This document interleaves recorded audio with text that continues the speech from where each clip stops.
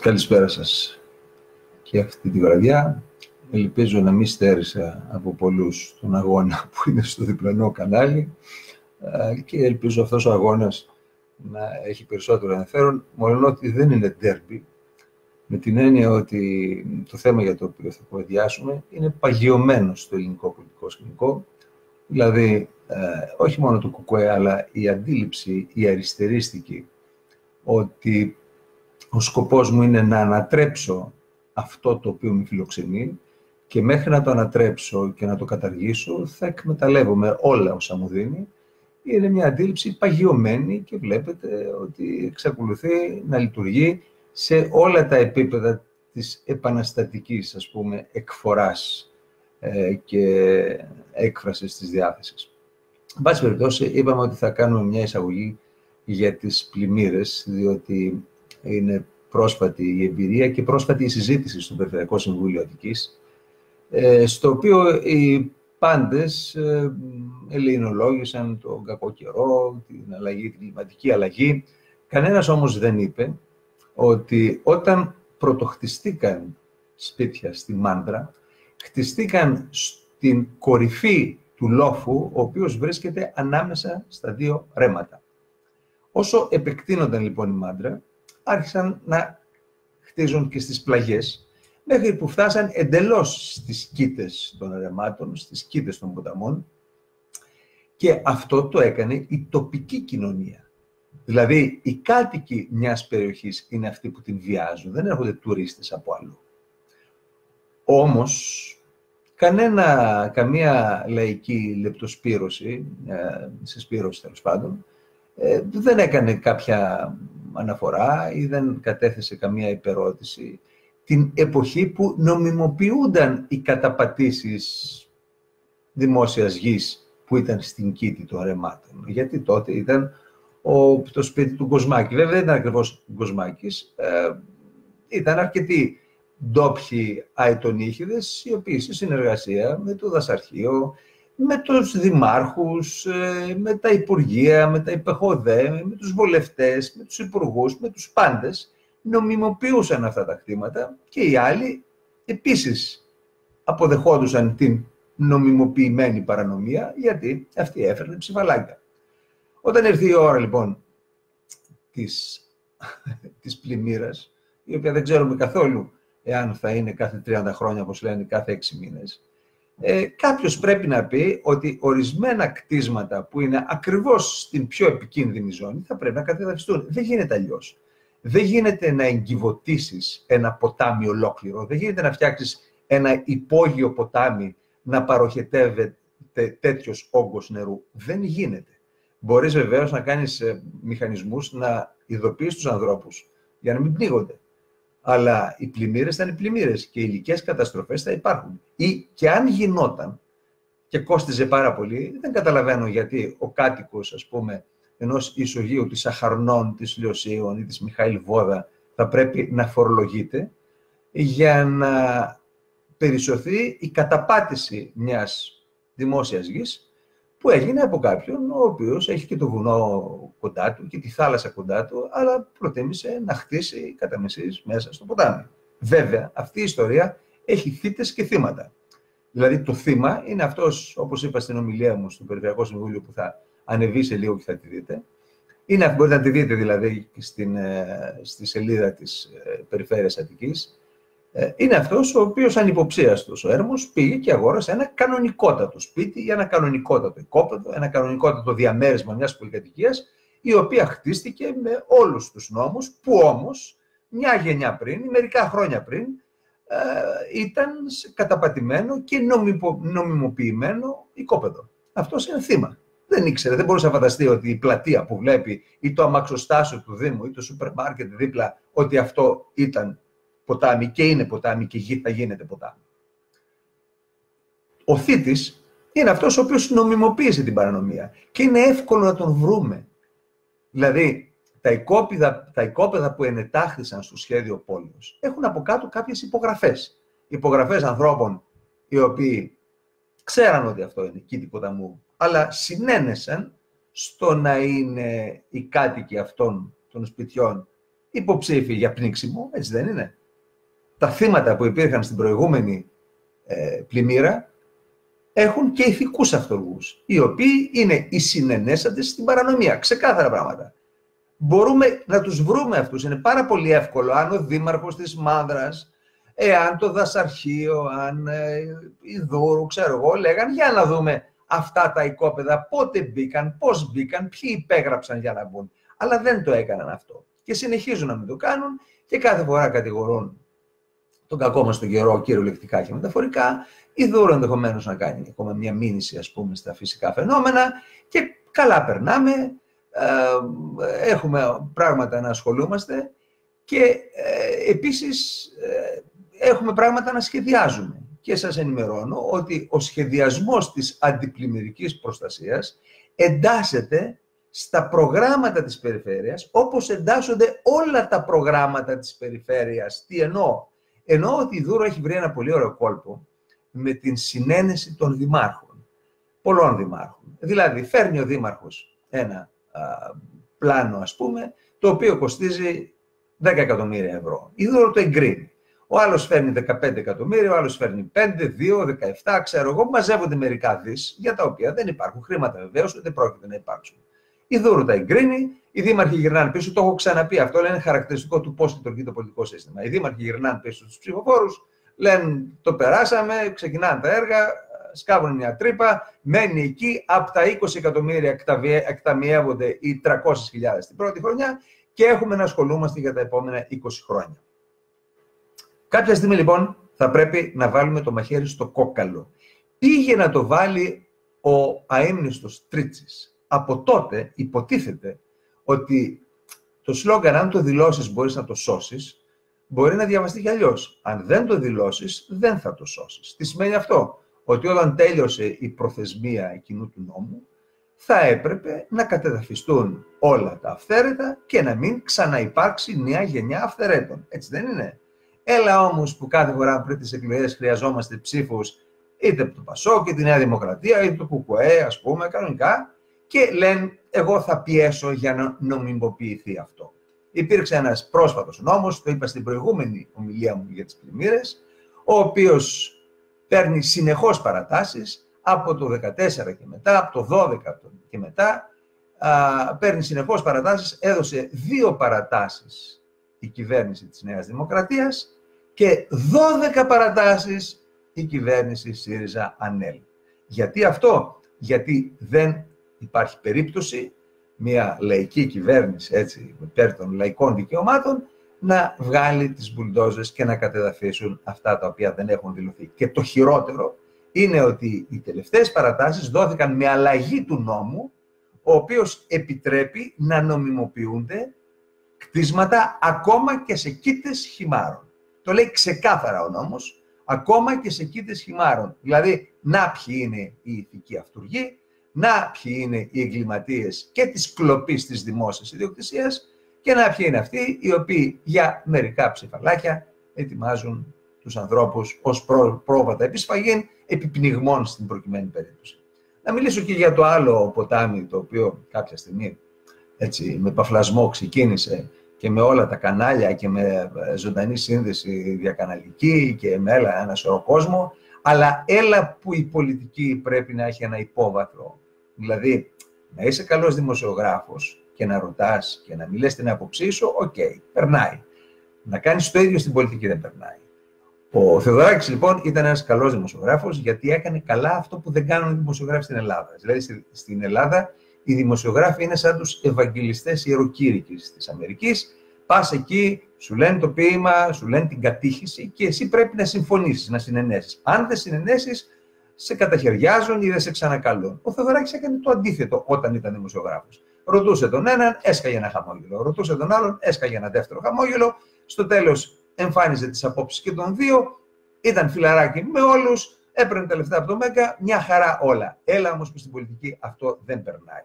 Και δημιούργησε ένα κακέκτυπο του Κουβέλη με αντικατάσταση του και και που έλεγε ο Κουβέλης με το ούτε ούτε, ούτε αυτό είναι σωστό, ούτε τ' άλλο, ούτε στην Ευρώπη, ούτε στην Ελλάδα, ούτε με αμυγδαλέζες ε, διορθώνεται το μεταναστευτικό, ούτε με ανθρώπους που κοιμούνται στα πακάκια. Εν πάση περιπτώσει, πες μας με τι γίνεται.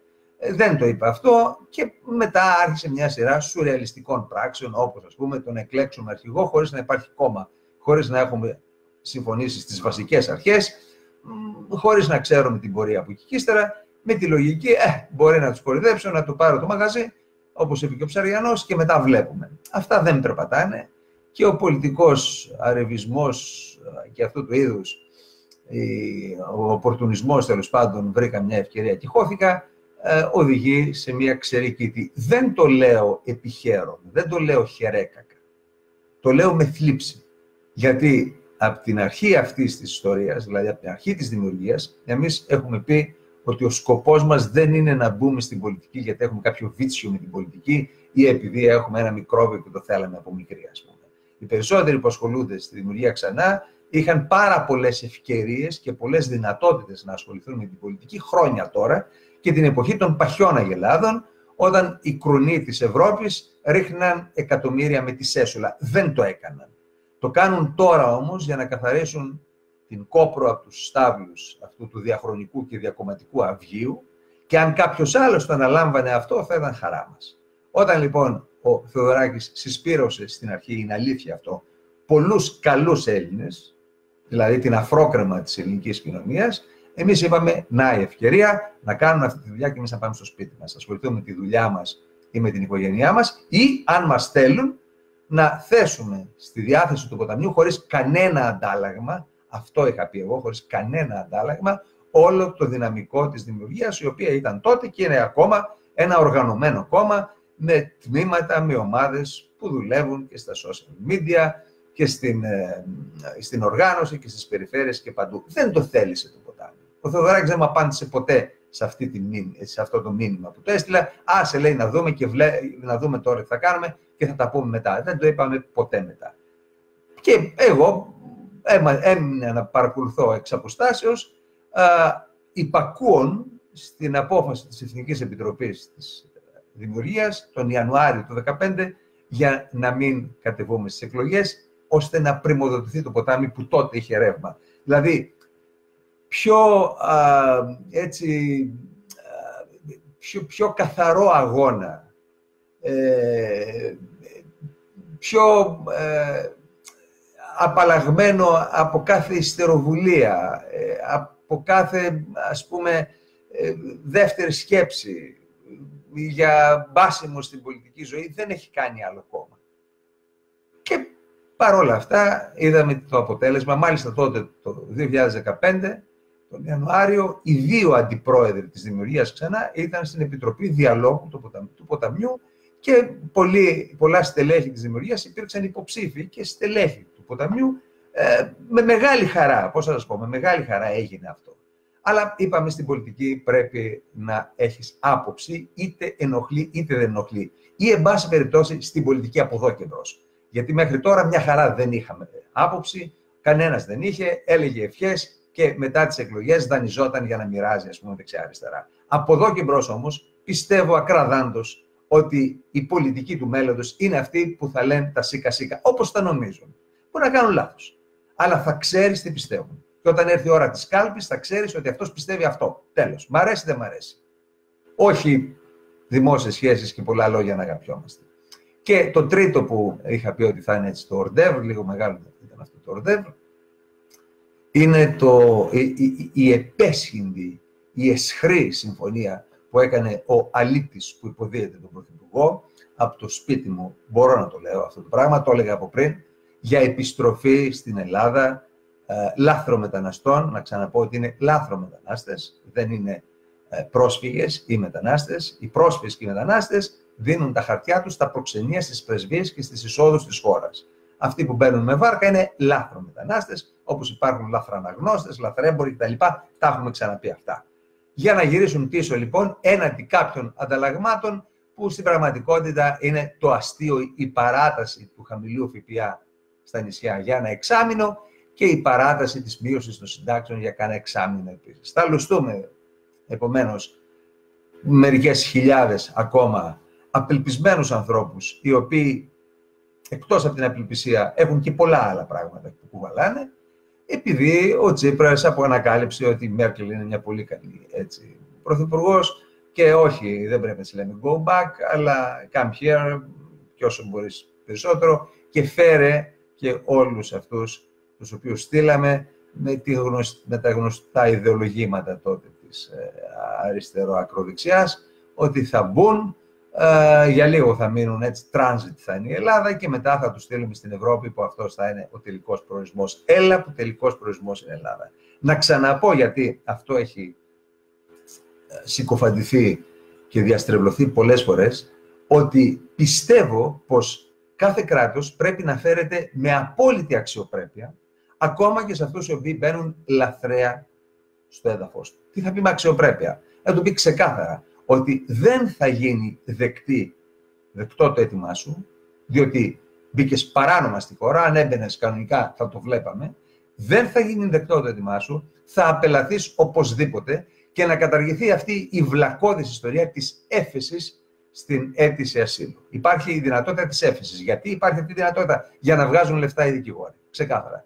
Η νοικιό και τα κυκλώματα που λιμένονται τους πρόσφυγες. Τι θα πει έφεση στο αίτημα ασύλου; Δηλαδή, το πρωτοβάθμιο όργανο, ας πούμε, δεν είναι σε θέση να το κάνει αυτό. Περιμένουν λοιπόν στις δομές μέχρι να εκδικαστεί και η έφεση και ποιος ξέρει τι λάδωμα πέφτει και ποιοι πιέζουν ποιους για να βγουν θετικές αποφάσεις. Κανονικά δεν θα έπρεπε να υπάρχει καμία έφεση, η Επιτροπή Ασύλου να εξετάζει το αίτημα, να το απορρίπτει, διότι από τη στιγμή που μπαίνει παράνομα στη χώρα θα πρέπει να εφαρμοστεί ο νόμος και ο νόμος αφήνει ένα παραθυράκι, αν απελαθείς αμέσως, να μην πας δικαστήριο, να μην καταδικαστείς, δηλαδή, γιατί κανονικά πρέπει να πας στη φυλακή, και επιστρέφουν από τις χώρες που φύγαν. Και όταν υπάρχει, επειδή κάποιοι το ρωτάνε αυτό, τι θα γίνει όταν δεν υπάρχουν διακρατικές συμφωνίες ή όταν δεν έχουν δηλώσει τη χώρα, είναι, ας ρωτήσουν κάποιον αστυνομικό, είναι πολύ εύκολο να βρεθεί από πού έρχεται ο καθένας. Και όταν δεν υπάρχουν διακρατικές συμφωνίες, του λες ότι σου δίνω ένα εισιτήριο άνευ επιστροφής ή ακολουθώ τις νόμιμες διαδικασίες, που σημαίνει φυλάκιση, ε, δικαστήριο, δηλαδή προφυλάκηση, εκδίκαση της υπόθεσης, φυλάκιση κανονική και στο τέλος της φυλάκισης απέλαση. Δηλαδή, έχεις να διαλέξεις ανάμεσα στην απέλαση τώρα και στην απέλαση αφού περάσεις και κανένα δύο χρόνια στη φυλακή. Διάλεξε και πάρε. Ξεκάθαρα πράγματα.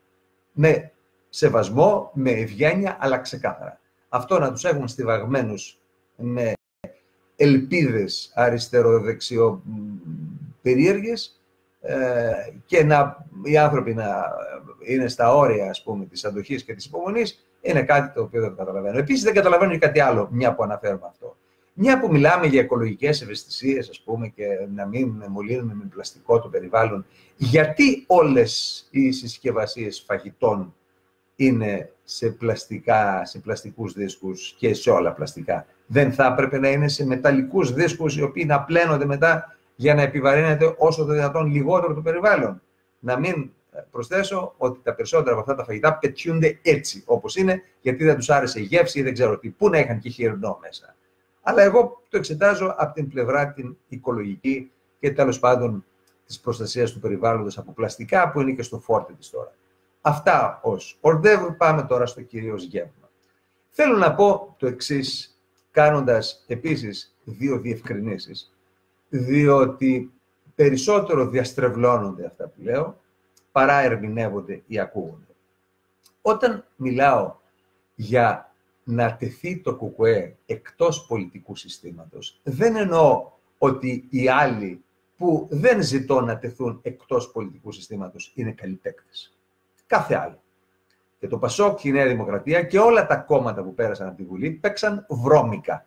Και επειδή είναι Μουντιάλ, πλήρωναν τους διαιτητές, προσπαθούσαν να πάρουν πέτσινα πέναλτι, σπρώχναν, κλαδεύαν, κάναν ό,τι μπορούσαν να το κάναν. Μες στο γήπεδο βάζαν γκολ με το χέρι που μέτραγαν, ό,τι μπορούσαν να το κάνουν. Αλλά τηρούσαν κάτι. Κάναν εκλογές.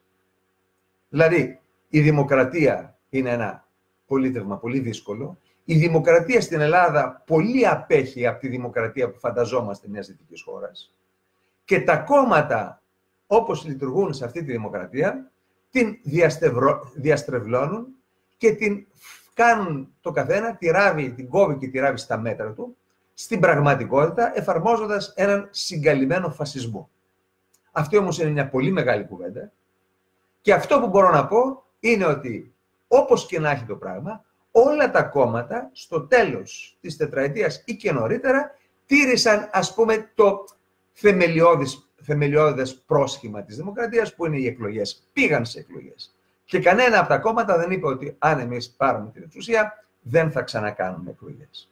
Πάμε τώρα στην περίπτωση του Κουκουέ.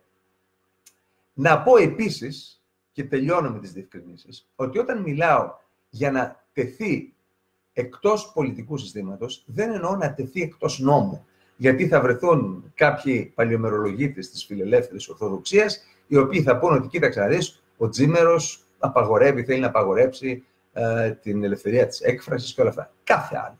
Μπορείς να έχεις οποιαδήποτε άποψη θες. Οποιαδήποτε άποψη. Όσο τρελή και να είναι, όσο φασιστική και να είναι. Αλλά μπορεί αυτή να τη λες σε θεωρητικό επίπεδο. Αν, ας πούμε, πιστεύεις ότι ε, πρέπει οι άνθρωποι να μην γεννάνε παιδιά, γιατί η ανθρωπότητα καπηλεύτηκε τη, τη γη και πρέπει να δώσουμε ενδεχομένως ε, χώρο στα χταπόδια να εξελιχθούν ή στα δελφίνια να εξελιχθούν με έναν διαφορετικό τρόπο, ας πούμε, που δεν υπονομεύει το μέλλον του πλανήτη, ε, μπορεί αυτό να το υποστηρίζεις. Αν πεις όμως ότι εγώ θα πάρω μέρος στις εκλογές και όταν εκλεγώ θα σας ευνουχίσω όλους για να μην ξαναγίνετε παιδιά, δεν θα πάρεις μέρος στις εκλογές. Είναι τόσο απλό. Είναι τόσο απλό. Επομένως, όταν μιλάω να τεθεί το ΚΟΚΟΕ εκτός πολιτικού συστήματος, εννοώ να κάνουν σωματεία, να κάνουν ομίλους, ξέρω εγώ, φίλων της φαγής του Κατίν, ε, φίλων του σταλινισμού, ε, να βγάλουν και κάνα, ξέρω εγώ, λογότυπο σταλινίστας, να το φοράνε σε επικοινωνίες, όλα αυτά. Αλλά για να πάρουν μέρος στις εκλογές θα πρέπει να αναγνωρίσουν κάτι. Κάτι το οποίο ουδέποτε αναγνώρισαν, γι' αυτό είχαν πάρα πολλά προβλήματα και με το Βενιζέλο πριν από τον, από, την, από τον Δεύτερο Παγκόσμιο Πόλεμο, αλλά δεν θα αναφερθούμε εκεί γιατί θα έπρεπε να μιλάμε χρόνια για την προδοτική πορεία του ΚΚΕ. Θα αναφερθούμε από τη, στην εποχή από τη μεταπολίτευση και μετά, όταν ετέθη το θέμα της νομιμοποίησης του ΚΚΕ. Τότε ο Καραμαλής ζήτησε από το ΚΚΕ να υπογράψει μία δήλωση στον Άριο Πάγο. Έχουν γραφτεί πάρα πολλά για αυτή τη δήλωση, την οποία υπέγραψε ο Χαρίλαος Φλωράκης, που ήταν κεντρικό πρόσωπο του μεταπολιτευτικού ΚΚΕ. Θα πούμε και γι' αυτόν αρκετά πράγματα. Και εάν ψάξετε στο διαδίκτυο για τη δήλωση του Φλωράκη, θα δείτε ότι συνοδεύεται από εξαιρετικά απαξιωτική κριτική από τους δραστήριους αριστερούς σήμερα. Ότι ήταν μια ντροπή, ότι ήταν μια μαύρη σελίδα στην ιστορία της αριστεράς και ότι ε, υποχρεώθηκε ο Φλωράκης και τέλος πάντων αυτό ήταν το μελανό σημείο του Φλωράκη, γι' αυτό και φρόντισε ο σύντροφος Κουτσούμπας να τον αποκαθιλώσει σιγά σιγά. Βέβαια, αυτή είναι παλιά τακτική του Κουκουέ, ο ένας να αποκαθιλώνει τον προηγούμενο. Αλλά, εν πάση περιπτώσει, ο Φλωράκης τελικά υπέγραψε αυτή τη δήλωση. Δεν ξέρω πόσοι την έχουν διαβάσει, την έχω μπροστά μου και θα ήθελα να τη δούμε λιγάκι για να καταλάβουμε τι ακριβώς υπέγραψε ο Φλωράκης τότε. Προσέξτε να δείτε. Προς τον κύριο εισαγγελέα του Αρίου Πάγου έχει ημερομηνία 4 Οκτωβρίου του 1974. Έχει έρθει ο Καραμαλής και ακόμα είναι ο Γκυζίκης πρόεδρος της Δημοκρατίας και ετοιμαζόμαστε να περάσουμε στην μεταπολιτική νομιμότητα ε, τρομάρα της. Λέει λοιπόν δήλωσης του Κομμουνιστικού Κόμματος Ελλάδος. Να κάνω ένα σχόλιο επειδή τα παρακολουθώ αυτά. Πρόκειται για ένα άθλιο από πλευράς μορφής δακτυλογραφημένο κείμενο. Δηλαδή δεν τηρούνται αποστάσεις, πότε οι παύλες έχουν διάστημα, πότε δεν έχουν διάστημα. Δεν υπήρχε τότε ε, διαδίκτυο, αλλά υπήρχαν γραφομηχανές και επειδή έχω τη γραφομηχανή της θείας μου που ήταν υπάλληλος στην Τράπεζα της Ελλάδας και ήταν άψογη στο να τα τηρεί αυτά και αυτή ουσιαστικά μου έμαθε τη μορφή ενός κειμένου, ακόμα και όταν ήμουν μικρός, πώς να αφήνω παράγραφο, πώς να ξεκινάει η πρόταση, ας πούμε, αφήνοντας κενό, πώς να μπαίνει το κόμμα με τα κενό κτλ. Βλέπω ένα άθλιο και αισθητικά κείμενο, όπως είναι το εξώφυλλο του ριζοσπάστη, ας πούμε. Το κασέ του ριζοσπάστη, οι γραμματοσυρές, οι αποστάσεις, ε, τα, τα διάστηγα είναι φρίκι και είναι χαρακτηριστικό της αισθητικής των αριστερών, των φασιστών, διότι και η αισθητική πολιτική είναι. Πάμε όμως να διαβάσουμε τη δήλωση.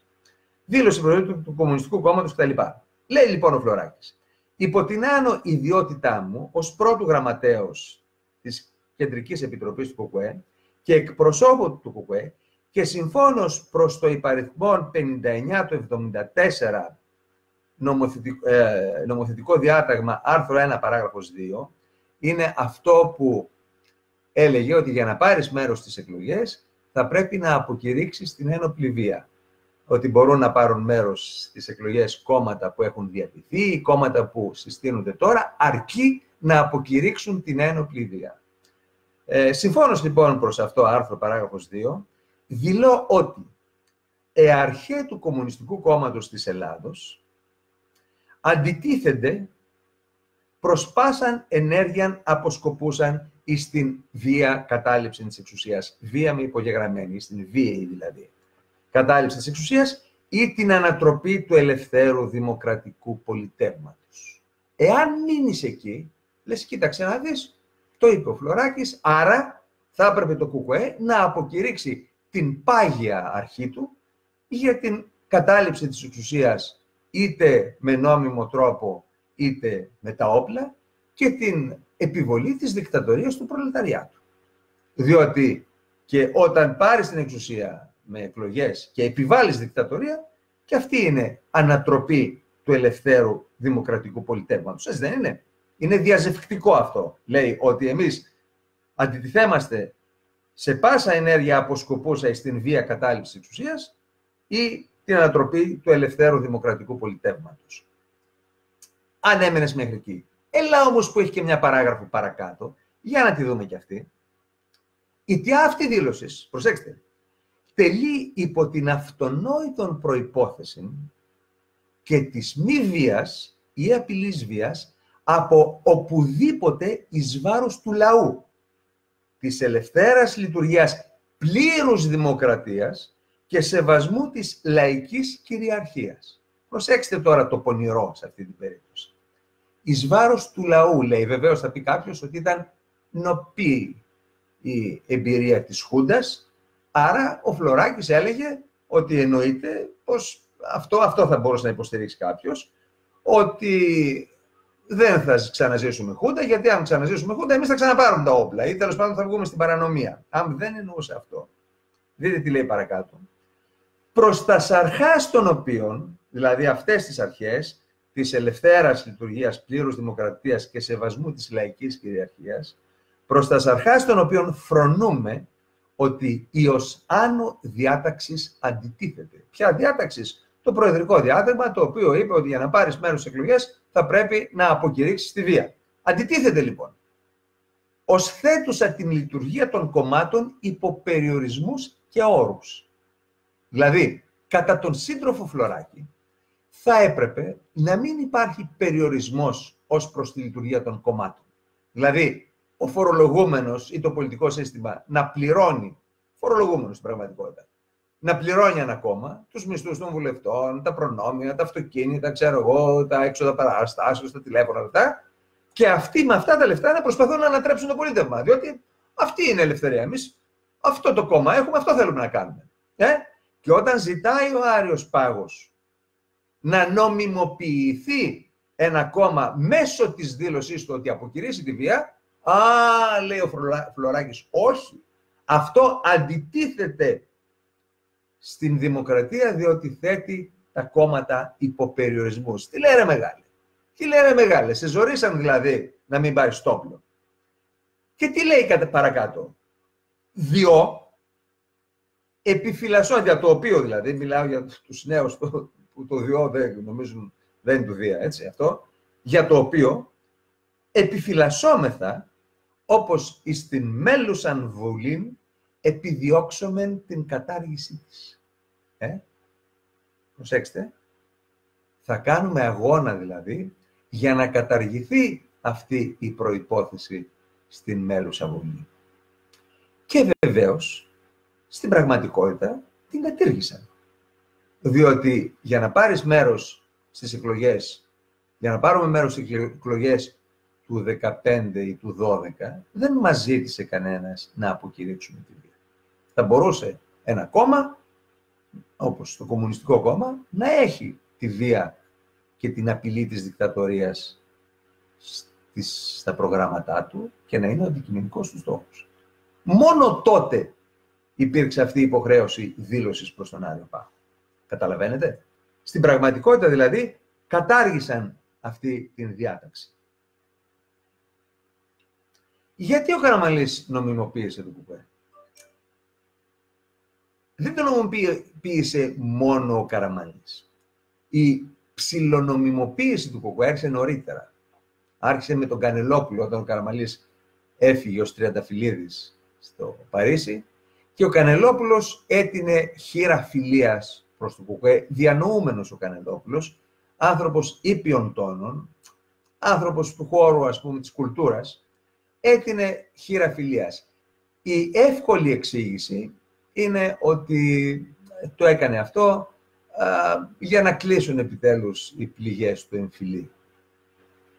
Η δεύτερη ανάγνωση είναι το έκανε αυτό διότι οι άστεγοι εκλογικά αριστεροί και αριστερίζοντες, προσέξτε, είμαστε σε μια εποχή, δηλαδή μιλάμε μετά τον εμφύλιο, όπου ακόμα δεν έχει αποκαλυφθεί η σταλινική τερατουργία. Δηλαδή, τότε ο Στάλιν ήταν ο πατερούλης, ο μπαμπάς που έσωσε τον κόσμο από τον φασισμό του Χίτλερ, αυτός φασίστας με τίποτα, ε, αγαπούσε όλο τον κόσμο, έπαιρνε τα παιδάκια αγκαλίτσα και τέλος πάντων βοήθησε τους Σοβιετικούς να έχουν μια καλύτερη ζωή, ένα καλύτερο μέλλον. Τότε δεν είχε αποκαλυφθεί κανένα από τα εγκλήματα του Στάλιν και του καθεστώτος, το οποίο είναι πολύ μετά το Χρουτσόφ και τέλος πάντων ε, όλα τα μάθαμε μετά την Περιστρόικα. Άρα τότε υπήρχαν αρκετοί, ας πούμε, προοδευτικούλιδες στη χώρα, οι οποίοι αριστέριζαν και προσέβλεπαν προς τη Σοβιετική Ένωση ή ήθελαν η Ελλάδα α, να είναι στο άρμα της Σοβιετικής Ένωσης, διότι η Αμερική ήταν η πατρίδα του καπιταλισμού, ήταν ο κυρίαρχος, ας πούμε, σε όλη την, ε, σε όλη την υδρόγειο, ε, είχε προηγηθεί η κρίση των πυράβλων της Κούβας, όπου υποτίθεται ότι ε, η Αμερική, τέλος πάντων, τον πολύ καλό επαναστάτη Κάστρο με τον Τσε Γκεβάρα, που ξεπάστρευε και ομοφιλόφιλους και αντιδραστικούς και τους πάντες, ας πούμε, τους περνούσε όλους από το δρεπάνι. Ε, η Αμερική ήταν εναντίον. Τέλος πάντων, τότε καλή ήταν η Σοβιετική Ένωση. Γιατί το έκανε αυτό, λοιπόν; Επειδή ήταν άστεγοι οι ψηφοφόροι του ΟΚΟΕ, υπήρχε περίπτωση να απορροφηθούν από την Ένωση Κέντρου του γέρου της Δημοκρατίας. Για να μην λοιπόν φύγουν προς τα εκεί οι ψηφοφόροι, ο Κανελόπουλος και η συναυτό της δεξιάς θελήσαν να φτιάξουν ένα τριπολικό σύστημα, όπου θα ήταν η δεξιά, ας πούμε, α, το ενδιάμεσο που υποτίθεται ότι είναι ο πρόγονος του σοσιαλιστικού Πασόκ, τρομάρα του Θεός θα το κάνει και αυτό, και να υπάρχει και το ΚΚΕ, ώστε το ΚΚΕ να έχει ένα μπετοναρισμένο ποσοστό για να μην ψηφίσουν ε, Ένωση Κέντρου. Η Ένωση Κέντρου δεν έχει καμιά σχέση με το κέντρο που μιλάμε σήμερα, ούτε με την Ένωση Κέντρου του γραφικού κ. Βασίλη, αλλά ήταν ένα άλλο είδο γραφικού συμφύρματος, διότι είχε από Βασιλόφρονες τότε ήταν ένα σύμφυρμα κομμάτων και κομματιδίων που κανένας δεν ήξερε τίποτα. Απλώς είχαν συσπηρωθεί κάτω από την προσωπικότητα του γέρου της Δημοκρατίας, ο οποίος ε, για το ΚΚΕ είχε συγκεκριμένες απόψεις και τις εξέφραζε, ήταν αντικομουνιστής δηλαδή. Ε, ουσιαστικά ε, δεν μ' άρεσε αυτός ο όρος γιατί είναι ετεροπροσδιορισμός. Θεωρούσε ότι το, το είναι μια εγκληματική συμμορία. Εν πάση περιπτώσει, για να μην λοιπόν πάνε προς αυτό το κόμμα οι επαμφωτερίζοντες ψηφοφόροι, αυτοί που ήταν βαμμένοι ε, κομμουνιστές δεν θα ψήφισαν κανένα αν δεν είχαν αυτή τη δυνατότητα. Γι' αυτό άρχισε η ψηλονομιμοποίηση ε, του ΚΚΕ τότε. Και μας ενδιαφέρει αυτό γιατί περιλαμβάνει και την πορεία της ζωής του Χαρίλαου Φλωράκη, του γνωστού καπετάν Γιώτη του εμφύλιο, για την οποία θα έπρεπε να ξέρουμε μερικά πράγματα. Ο Φλωράκης λοιπόν ήταν από νωρίς κομμουνιστής, είχε από το 1929 γραφτεί στην ΟΚΝΑ.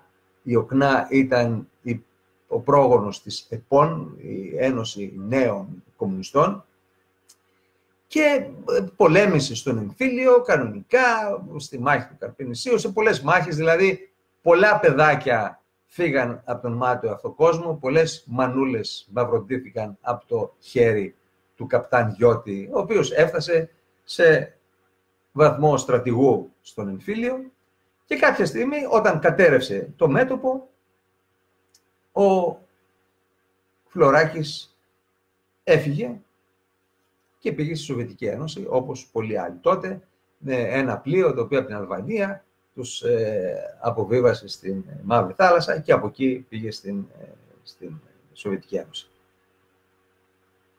Από το 1950 μέχρι το 1953 φίτησε στην περίφημη Σοβιετική Ακαδημία Φρούτζε, ήταν στρατιωτική ακαδημία, στην πραγματικότητα όμως εκπαίδευε κομματικά στελέχη, τα οποία τα έστελνε στις ανά τον κόσμο αποστολές, στις πατρίδες τους, για να υπονομεύσουν το πολίτευμα. Τότε ο Στάλιν, ανάμεσα σε όλα τα εγκλήματα που έκανε, έκανε και ακόμα ένα. Δεν είχε πει στους συντρόφους ότι με εκείνο τον μπακαλόχαρτο στις, της ε, συμφωνίας της Γιάλτας ξεπούλησε την Ελλάδα, το χρησιμοποιώ το ρήμα που χρησιμοποιούν οι αριστερούλιδες, ξεπούλησε την Ελλάδα στην Δύση, βάζοντας μόνο 10% ποσοστό επιρροής στην Ελλάδα. Θυμίζω, ας πούμε, ότι η Ιουγκοσλαβία ήταν 50-50. 50 δική μας, 50 η δυτική. Γι' αυτό και ο Τίτο ήταν στο ενδιάμεσο. Τότε λοιπόν στην ε, Σύνοδο της Γιάλτας, στην οποία οι τρεις μεγάλοι του ε, Δεύτερου Παγκοσμίου Πολέμου, ο Τσόρτσιλ, ο Στάλιν και ο Ρούσβελτ, μοίρασαν τον μεταπολεμικό κόσμο, ο Στάλιν είχε ήδη αποδεχθεί ότι την Ελλάδα την αφήνω σε εσάς. Δεν το είχε πει όμως αυτό ούτε στο Δημοκρατικό στρατό. Τι να πει, ότι σας έπαιξα στο τάβλι ας πούμε και εσάς σας πούλησα. Όχι βέβαια και τους άφησε να σκοτώνονται. Δηλαδή, αν το ξέραν αυτό, ενδεχομένως δεν θα μπαίναν στην περιπέτεια του Δευτέρου Παγκοσμίου Πολέμου, γιατί μέχρι και την τελευταία μάχη που έδωσαν οι κομμουνιστές, ε, του εμφυλίου πολέμου, συγγνώμη, μέχρι και την τελευταία μάχη που δώσαν, πίστευαν ότι θα έρθει βοήθεια από τη Σοβιετική Ένωση ή έστω από τις φίλιες δυνάμεις Βουλγαρίας, Ιουγκοσλαβίας, Αλβανίας, οι οποίες τίποτα δεν έκαναν, διότι είχαν πάρει εντολή ανάσχεσης από τον ίδιο τον Στάλιν. Ο Φλωράκης λοιπόν πήγε στην ε, Σοβιετική Ένωση, σπούδασε στην ε, Ακαδημία Φρούτζε και τι έκανε μετά το 1954. Πέντε χρόνια μετά τη λήξη του εμφυλίου. Γύρισε στην Ελλάδα. Πώς γύρισε όμως; Γύρισε κανονικά στην Ελλάδα λέγοντας ότι κατάλαβα ότι τζάμπα αιματοκύλησα τη χώρα και ζητάω συμφιλίωση, συγχωρέστε με για τα εγκλήματά μου, συγχωρώ και εγώ τους αντιπάλους. Έχω γράψει πολλές φορές ότι σε εκείνον τον χαλασμό ε, οι εγκληματίες και των δύο πλευρών ήταν αυτοί οι οποίοι κέρδιζαν και οι ζημιωμένοι ήταν οι μετριοπαθείς και των δύο πλευρών. Μόνο που τα εγκλήματα του, του ΚΚΕ είναι απείρως περισσότερα από τα εγκλήματα που έκανε η άλλη πλευρά. Τα, τα εγκλήματα της άλλης πλευράς τα ξέρουμε. Τα εγκλήματα του ΚΚΕ δεν τα ξέρουμε και να πω ότι έχω φτιάξει ένα group εγκλήματα αριστεράς, το έγραψα με λατινικά γιατί έχω σκοπό αυτό κάποια στιγμή να το κάνω site, εγκλήματα αριστεράς, στο οποίο κατατίθενται μαρτυρίες και από πρώτο χέρι. Ακόμα ζουν άνθρωποι που τα ζήσαν αυτά, ήταν μικρά παιδιά και τα έζησαν αυτά. Ήρθε λοιπόν ο Φλωράκης στην Ελλάδα, ξαναλέω. Και τι κάνει ο Φλωράκης ερχόμενος στην Ελλάδα; Μπαίνει στην παρανομία. Μπαίνει στην παρανομία. Γιατί; Για να ανατρέψει τη δημοκρατία. Το 54 το 54, πέντε χρόνια μετά τη λήξη του εμφυλίου. Βεβαίως δεν ήταν και πολύ ικανός σε αυτά τα πράγματα και τον συλλαμβάνουν. Τον συλλαμβάνουν, μένει στη φυλακή αρκετό καιρό ως προφυλακισμένος. Η δίκη του να φανταστείτε ότι γίνεται το 60. Δηλαδή έμεινε, έμεινε από το 54, 6 χρόνια στη φυλακή. Κοιτάω να δω μήπως ε, συνελήφθη αργότερα, όχι, συνελήφθη το 54, 17 Ιουλίου του 54. Μέχρι το 60 λοιπόν έμεινε 6 χρόνια στη φυλακή, πολύ μεγάλο χρονικό διάστημα για προφυλάκηση την αλήθεια. Και να ο σεβασμός της πολιτείας. Δηλαδή ακόμα και ένας ο οποίος μηχανογραφεί και ραδιουργεί κατά του δημοκρατικού πολιτεύματος, δεν είναι δυνατόν να μένει έξι χρόνια προφυλακισμένος χωρίς να το απαγγελθεί κατηγορία και χωρίς να δικαστεί. Δικάζεται το 60 και καταδικάζεται η Σόβια. καταδικάζεται σε ισόβια. Για παράβαση του νόμου 375 τότε περί κατασκοπίας. Πότε αφέθηκε ελεύθερος; Το 1966, όταν ο Παναγιώτης Κανελόπουλος έκανε αυτό το άνοιγμα προς την αριστερά, είπαμε, για να αντιμετωπίσει την άνοδο της Ένωσης Κέντρου. Δείτε δηλαδή η πρώτη παρανομία, όχι πρώτη, η πρώτη της ιστορίας μας, γιατί αν πάμε παλιότερα θα δούμε πολλές άλλες τέτοιες. Η πρώτη παρανομία του χρονικού διαστήματος που εξετάζουμε, η οποία έγινε για μικροκομματικούς πολιτικούς λόγους, με τον μανδύα, ας πούμε, της Εθνικής Συνένεσης. Ο Φλωράκης αφήνεται ελεύθερος, έρχεται μετά η δικτατορία, το 72 εκλέγεται γραμματέας του ΚΚΕ, ε, διαδεχόμενος τον Σοβιετόφιλο Κολυγιάννη. Θυμάστε τότε εκείνη την ιστορία, όπου ο Κολυγιάννης ε, ουσιαστικά ήταν υπέρ της, ας πούμε, της γραμμής της Σοβιετικής Ένωσης. Έγινε μεγάλη κουβέντα καθώς προχωρούσαν τα χρόνια και φεύγαμε από την εποχή της παντοδυναμίας της Σοβιετικής Ένωσης. Ε, έγινε μεγάλη κουβέντα για το αν το ΚΚΕ θα έπρεπε να έχει αυτόνομη, ας πούμε, πολιτική, να την πω εθνική πολιτική, ή θα ήταν φερέφωνο της Μόσχας. Ε, αυτοί οι οποίοι θεωρούσαν ότι θα είναι φερέφωνο, απεχώρησαν. Οι άλλοι ε, εξέλεξαν τον, ε, τον Φλωράκη, ο οποίος υποτίθεται ότι είχε και μια πινελιά, ας πούμε, εθνικού ενδιαφέροντος και αυτό τον νομιμοποίησε στη συνέχεια. Πάντως μου έκανε εντύπωση, να ανοίξω μια παρένθεση, μου έκανε εντύπωση όταν κάποιος φίλος είπε ότι οι γονείς μου ήταν βαμμένοι κουκουέ και στον αγώνα του Ευρωπαϊκού, του Eurobasket, εκείνον τον αξέχαστο αγώνα, τον τελικό Ελλάδας της Σοβιετικής Ένωσης του 1987, ήταν με τη Σοβιετική Ένωση. Υποστήριζαν τη Σοβιετική Ένωση. Δηλαδή η θρησκεία του Κουκουέ σε καθιστά πολίτη της Βασιλείας των Ουρανών, ας πούμε, σαν τους ε, φανατικούς, τους θρησκόληπτους, μόνο που αυτή είναι βασιλεία της Σοβιετικής Ένωσης. Ο Φλωράκης, λοιπόν, εξελέγει γραμματέας του, ε, του ΚΚΕ, ε, ήρθε η νομιμοποίηση και άρχισε να φαίνεται ότι ανατέλει το άστρο του Ανδρέα Παπανδρέου. Ό,τι έκανε λοιπόν ο Κανελόπουλος προδικτατορικός, το έκανε ο Καραμανλής μεταδικτατορικός. Βεβαίως, ακόμα δεν είχε φανεί η δυναμική του Πασόκ. Αλλά ξέροντας ο Καραμαλής τις διαθέσεις του Ανδρέα Πανδρέου, τον οποίο ήξερε από την πολιτική του στην Ένωση Κέντρου πριν τη δικτατορία, θέλησε με αυτόν τον τρόπο ναι μεν να δημιουργήσει ένα κλίμα συνένεσης μετά τη δικτατορία, χρειαζόταν αυτό, μόνο που έγινε μονόπλευρα, θα το πούμε αυτό, απ' την άλλη θέλησε να δημιουργήσει αυτόν τον τρίτο πόλο. Όσοι είναι αριστεροί κομμουνιστόφρονες, ας πούμε, να μην ψηφίσουν τον σοσιαλίζοντα ε, και ανερχόμενο Ανδρέα Παπανδρέου, αλλά να ψηφίσουν μόνο κόλλη κουκουέ. Και έτσι, στις εκλογές του 82, ε, η αριστερά συνεργάζεται με το ΠΑΣΟΚ, με, θυμάστε, τότε ήταν και λοιπές δημοκρατικές δυνάμεις που έμεινε ως σκοπτικός όρος αυτός και άρχισε η αριστερά να, να, να έχει την εντύπωση την έμονη ιδέα ότι το Πασόκ της λαιλατεί ε, όχι μόνο σοσιαλιστικές ιδέες, αλλά ψήφους ε, και σύμβολα.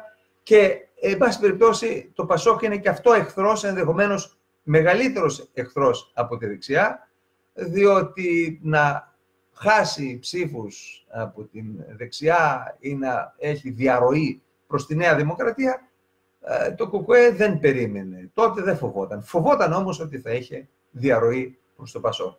Και ξεκινάει μια περίεργη, ανίερη συμμαχία ανάμεσα στο ΚΚΕ και στην λεγόμενη λαϊκή δεξιά, η οποία κορυφώνεται επί πρωθυπουργίας του Κώστα του Β, του εντελώς Β, του Ανωθελή, ο οποίος μάλιστα προλογίζει και τον δεύτερο τόμο των απομνημονευμάτων ε, του Χαρίλα Φλωράκη που εκδόθηκαν από την τύπο εκδοτική ε, από, το, από την εκδοτική έτσι, εταιρεία, το τυπογραφείο του ΚΚΕ ε, και είναι οι, ας πούμε, οι εξομολογήσεις του, του Φλωράκη για την ε, πορεία του, για τη ζωή του, για την πορεία του ΚΚΕ, για όσα έγιναν μέσα στο ΚΚΕ, έξω από το ΚΚΕ, για την συγκυβέρνηση του 89, για όλα αυτά.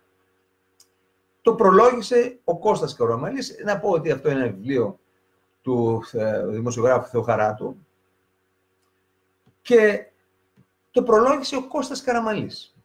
Τι είπε ο Κώστας Καραμαλής; Είπε ότι ο Φλωράκης, ας πούμε, είναι ένα σύμβολο των αριστερών και ένα πρόσωπο, με ένας ηγέτης τέλος πάντων της μεταπολιτευτικής Ελλάδας που βοήθησε με τη στάση του αυτή τη στάση που σας διάβασα πριν. Δηλαδή, ότι εγώ ναι, αποκηρύσω τη βία, αλλά στην πραγματικότητα δεν την αποκηρύσω και κρατάω μια πατινή για να αναιρέσω αυτόν τον όρο λίγο μετά. Όχι, δεν είπε αυτό.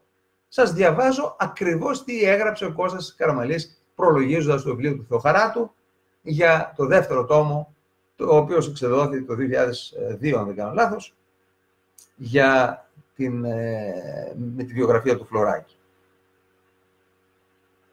Λέει το εξής.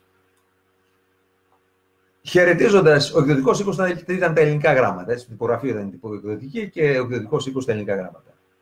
Προσέξτε. Τι γράφει ο Καραμαλής τώρα, έτσι. Χαιρετίζοντας την έκδοση του δεύτερου τόμου του βιβλίου του Χρήστο Θεοχαράτου για τον Χαρίλα Φλωράκη, αισθάνομαι την ανάγκη να αποτίσω φόρο τιμής. Πού κοστάκι μου θα αποτίσεις φόρο τιμής, όχι μόνο στον επίτιμο πρόεδρο του ΟΚΟΕ, είχε γίνει επίτιμος πια, είχε εκλεγεί Παπαρίγα, έτσι τα θυμάστε αυτά, αλλά κυρίως σε ό,τι ο ίδιος ιστορικά συμβολίζει. Τι συμβολίζει ιστορικά; Συμβολίζει φίλιο. Συμβολίζει σφαγές Ελλήνων. Συμβολίζει τη διαχρονική προσπάθεια του ΚΚΕ να εγκαταστήσει στην Ελλάδα δικτατορία. Συμβολίζει την υπονόμευση του δημοκρατικού πολιτεύματος με κάθε τρόπο, όπως ας πούμε εκείνα τα περίφημα ότι κηρύσουμε ανυπακοή και απειθαρχία στο νόμο που οι ίδιοι ψηφίσαμε ως μέλος του νομοθετικού σώματος λίγο πιο πριν, αυτά συμβολίζει το ΚΚΕ. Σε αυτά λοιπόν απέτησε φόρο τιμής ο Βούδας της Ραφίνας. Ο 0-0-0-0 εάν δεις τη βαθμολογία του και τις επιδότες, κοινοβουλευτικές του επιδόσεις. Μηδέν επερωτήσεις, μηδέν ε, αγορεύσεις, μηδέν όλα, άμα δείτε στην, ε, στην ας πούμε, αξιολόγηση των βουλευτών, θα δείτε το μηδέν. Βέβαια, ο Κυριάκος δεν έχω ακούσει κάτι για τον αποκλεισμό του 0-0-0-0 από τα ψηφοδέλτια της ε, Νέας Δημοκρατίας, με τα οποία αριστείντην εκλέγεται η βάση του εκλογικού νόμου. Δηλαδή αυτός ο οποίος διετέλεσε πρωθυπουργός, μην το χάσουμε το τεφαρίκι, θα εκλεγεί οπωσδήποτε βουλευτής αν βάλει υποψηφιότητα. Δεν είναι όπως τότε που έχασε ο Τρικούπης τις εκλογές και είπε Ανθιμών Γουλημή, που δεν εξελέγει ούτε βουλευτής στο Μισολόγιο. Έτσι. Τότε ο Πρωθυπουργός μπορούσε να φάει τέτοιο μαύρισμα που να μην ξαναεκλεγεί. Τώρα όμως, άπαξ και εξελέγει, διαπαντός εξελέγει ο, το, το εθνικό κοφάλαδο. Τι είπε λοιπόν μετά στη συνέχεια ο Καραμαλής. Ναι; Πιστεύω βαθιά ότι στις αρχές του 21ου αιώνα, εκείνο που πρωτίστως ζητεί η κοινωνία από όλες τις δυνάμεις του τόπου, προσέξτε, άλλο η κοινωνία, άλλο οι δυνάμεις του τόπου, έτσι δεν είναι το ίδιο πράγμα, είναι η μεταξύ τους εμπιστοσύνη, η συνεννόηση, ο διάλογος και η συνεργασία. Στα μείζωνα ζητήματα που απασχολούν τον τόπο και τους ανθρώπους γύρω μας. Είναι η ευρύτερη δυνατή ενότητα και ομοψυχία γύρω από τις κοινές αξίες και τα ιδανικά του λαού μας.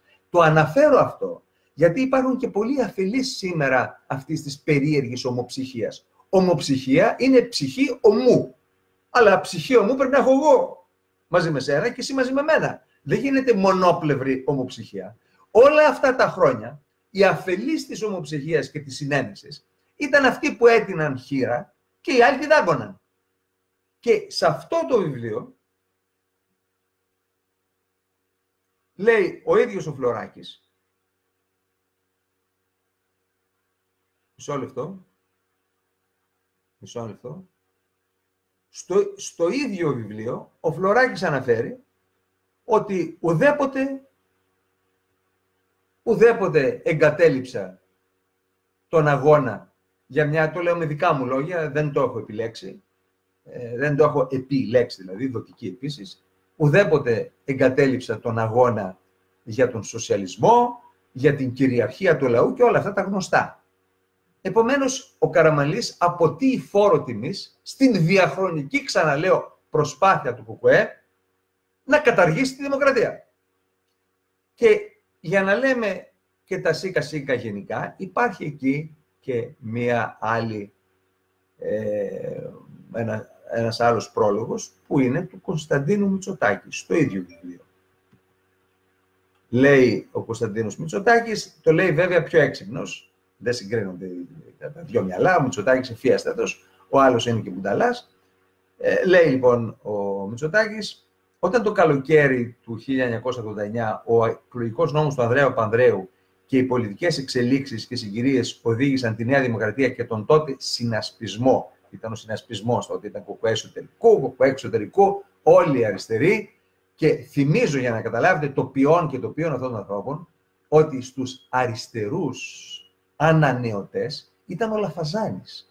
Ήταν ο Λαφαζάνης, ο οποίος είχε επισκεφθεί μαζί με τον Μίμη Ανδρουλάκη, τον Φλωράκη τότε στο σπίτι του και προσπαθούσαν να τον πείσουν να ξαναβάλει υποψηφιότητα και να μην δώσει το κόμμα στην Παπαρίγα, ας πούμε. Έτσι. Φανταστείτε πόσο ανανεωτής ήταν ο Λαφαζάνης και τι ήταν οι άλλοι που ήταν σκληροπυρηνικοί.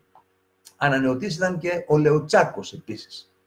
Ε, το, το, θυμάστε τον Λεοτσάκο. Κάτι, κάτι τέτοια πράγματα, ας πούμε, ήταν οι ανανεωτές τότε. Ήταν και μερικοί σοβαροί, οι οποίοι έφυγαν. Ο Ανδρουλάκης είναι πολύ καλό μυαλό επίσης, που αδικήθηκε από την, ε, και από την πολιτική και γενικότερα από το δημόσιο λόγο. Ε, μόλον ότι με πολλά από αυτά που λέει δεν συμφωνώ, θεωρώ ότι είναι πολύ γερό μυαλό και θα έπρεπε να αξιοποιηθεί διαφορετικά. Την κλείνω αυτή την, ε, την παρένθεση. Λέει λοιπόν, συνεχίζει ο Μητσοτάκης, ότι ε, είχα δεκάδες ευκαιρίες να διαπιστώσω χειροπιαστά. Τι, ότι ο Χαρίλαος Φλωράκης είναι ένας γενναίος άνθρωπος, όντως όταν βγαίνει στον πόλεμο ας πούμε, και σκοτώνει τον άλλον με τον κίνδυνο να σκοτωθείς, αυτή η πράξη περιέχει έναν βαθμό γενναιότητας. Δεν ποιος το αρνείται. Με αρχές και οράματα, ε, με αρχές και οράματα. Ποιες αρχές και ποια οράματα; Τα οράματα της κατάργησης της δημοκρατίας. Αλλά λέει με αρχές και οράματα. Ποιος ο Κωνσταντίνος Μητσοτάκης. Δείτε δηλαδή τι παιχνίδι παίχτηκε, ουσιαστικά μικροκομματικό παιχνίδι, για να κοπούν ψήφια από το ΚΚΕ, που αγωνίζεται για τις ιδέες του και τις δημοκρατικές ελευθερίες του λαού. Όπα, αγωνίζεται για τις δημοκρατικές ελευθερίες του λαού. Ποιος; Αυτός που μέχρι το θάνατό του έλεγε ότι εγώ αγωνίζομαι για την επικράτηση του σοσιαλιστικού ιδεώδους. Ποιο είναι το σοσιαλιστικό ιδεώδες; Η δικτατορία του προλεταριάτου. Σε πρώτη φάση, λένε μετά η απόλυτη δικτατορία και γι' αυτό όταν ρώτησα τον Παφίλη, όταν τότε τα κανάλια δεν μου είχαν κλείσει την πόρτα εντελώς, είχε πει ότι εμείς θα κάνουμε εκλογές συνεχώς στους χώρους εργασίας. Α πούμε. Και εγώ του είπα ότι όχι, μιλάω για τις εκλογές τις εθνικές. Θα ξανακάνουμε εκλογές, όχι βέβαια. Αυτό λοιπόν γράφει ο Μητσοτάκης. Όταν λοιπόν ένας πρώην πρωθυπουργός της δεξιάς και ένας νυν πρωθυπουργός της δεξιάς, εκείνη την εποχή, ή, ή μάλλον εν αναμονή, δεν είχε βγει ακόμα ο Κώστας Καραμαλής πρωθυπουργός, σε λίγο θα, στις επόμενες εκλογές τις επόμενες εκλογές θα κέρδιζε. Δύο ηγέτες της δεξιάς, μάλλον, ο νυν ηγέτης και ένας πρώην πρωθυπουργός, γράφουν αυτά προλογίζοντας το βιβλίο ενός κομμουνιστό συμμορίτη, ο οποίος σκότωσε Ελληνόπουλα για να επιβάλλει τη, στα ελληνική δικτατορία. Τι να περιμένει κανείς από τους υπόλοιπους; Τι να περιμένει κανείς δηλαδή από μια εντελώς ασπόνδυλη, πλαδαρή, ανόητη Νέα Δημοκρατία, η οποία σέβεται τους αγώνες της αριστεράς. Ποιους αγώνες της αριστεράς, να καταλάβω. Ποιοι ήταν οι αγώνες της αριστεράς. Υπήρξε αγώνας της αριστεράς για κάτι λαϊκό. Όλες οι λαϊκές κατακτήσεις, όλες μα όλες, έγιναν από ανθρώπους φιλελεύθερους. Όπως σας είπα πριν ότι είναι απαράδεκτο κάποιος να είναι προφυλακισμένος για 6 χρόνια, ας είναι και ο μεγαλύτερος εγκληματίας. Άνθρωποι φιλελεύθεροι είπαν ότι ξέρετε πρέπει να μειώσουμε το χρόνο προφυλάκησης ας πούμε. Πρέπει να καταργήσουμε τη θανατική ποινή. Πρέπει να κάνουμε αυτά τα ανοίγματα τα πολιτικά. Να δώσουμε αυτή την ελευθερία στο εκφράζεστε. Γιατί οι νόμοι της ε, εμφυλιοπολεμικής περίοδου, το τρίτο ψήφισμα, απαγόρευε ακόμα και το να μιλάς για το κουκουέ. Ακόμα και αν κάποιος έλεγε ότι είναι ο παδός του κουκουέ, έμπαινε φυλακή κατευθείαν. Κάτι το οποίο από ό,τι έμαθα τώρα ισχύει στην Πολωνία. Ζήσαν στο πετσί τους αυτή, αυτή την κοσμοθεωρία. Έτσι λοιπόν επικράτησε μία κατάσταση ανοχής στην οποία υπάρχει στο πολιτικό σύστημα ένα κόμμα που ευθέως, ευθέως αρνείται τη δημοκρατία και όσα αυτή εκπροσωπεί. Μάλιστα, εκείνη την εποχή της έκδοσης του βιβλίου του Κουκουέ, υπήρξε κάποιος εκπρόσωπος κόμματος που έκανε αρνητικό σχόλιο. Ποιος ήταν αυτός; Ο πρωτοπαπάς του Πασόκ, ο Χρήστος Πρωτοπαπάς, ο οποίος είπε για το βιβλίο την εξής ατάκα. Πρόκειται για άνοιγμα καρδιάς, όντως, γιατί όταν λες την ιστορία σου και μάλιστα όταν είσαι ένας υπερήλικας, λίγο μετά πέθανε ο Χαρίλος Φλωράκης, πρόκειται για άνοιγμα καρδιά, είναι ένα άνοιγμα καρδιά, ας πούμε, αν το δεις έτσι. Αλλά το μυαλό και οι πράξεις είναι σε άλλη κατεύθυνση. Ή βεβαίως ήταν σε άλλη κατεύθυνση. Διότι δεν υπάρχει ούτε μία αναγνώριση του λάθους του Κομμουνιστικού Κόμματος από τον, στον εμφύλιο και μετά. Δεν μιλάω για τα προηγούμενα λάθη για τα οποία έχω γράψει πολλά άρθρα και έχω αναφερθεί πλιστάκι τα λάθη στο Μακεδονικό ή στη Μικρασιατική καταστροφή, όταν λέει, έλεγε το Κουκουέ, ας πούμε, ότι εμείς όχι μόνο δεν ε, στεναχωρηθήκαμε με την ήττα του στρατού, του ελληνικού στρατού, αλλά την επιδιώξαμε κιόλας. Την επιδιώξαμε κιόλας, διότι αυτή ήταν μια εκστρατεία μεγαλοτσιφλικάδων εις βάρος του τουρκικού λαού. Το διανοείστε. Γι' αυτό και ο Βενιζέλος τα πήρε στο κρανίο, ας πούμε, και σου λέει: Τι, τι κάνουμε δάφτου. Τι κάνουμε δάφτου, και θέσπισε το ιδιώνυμο. Αυτά μπορείτε να τα βρείτε εύκολα με ένα ψάξιμο.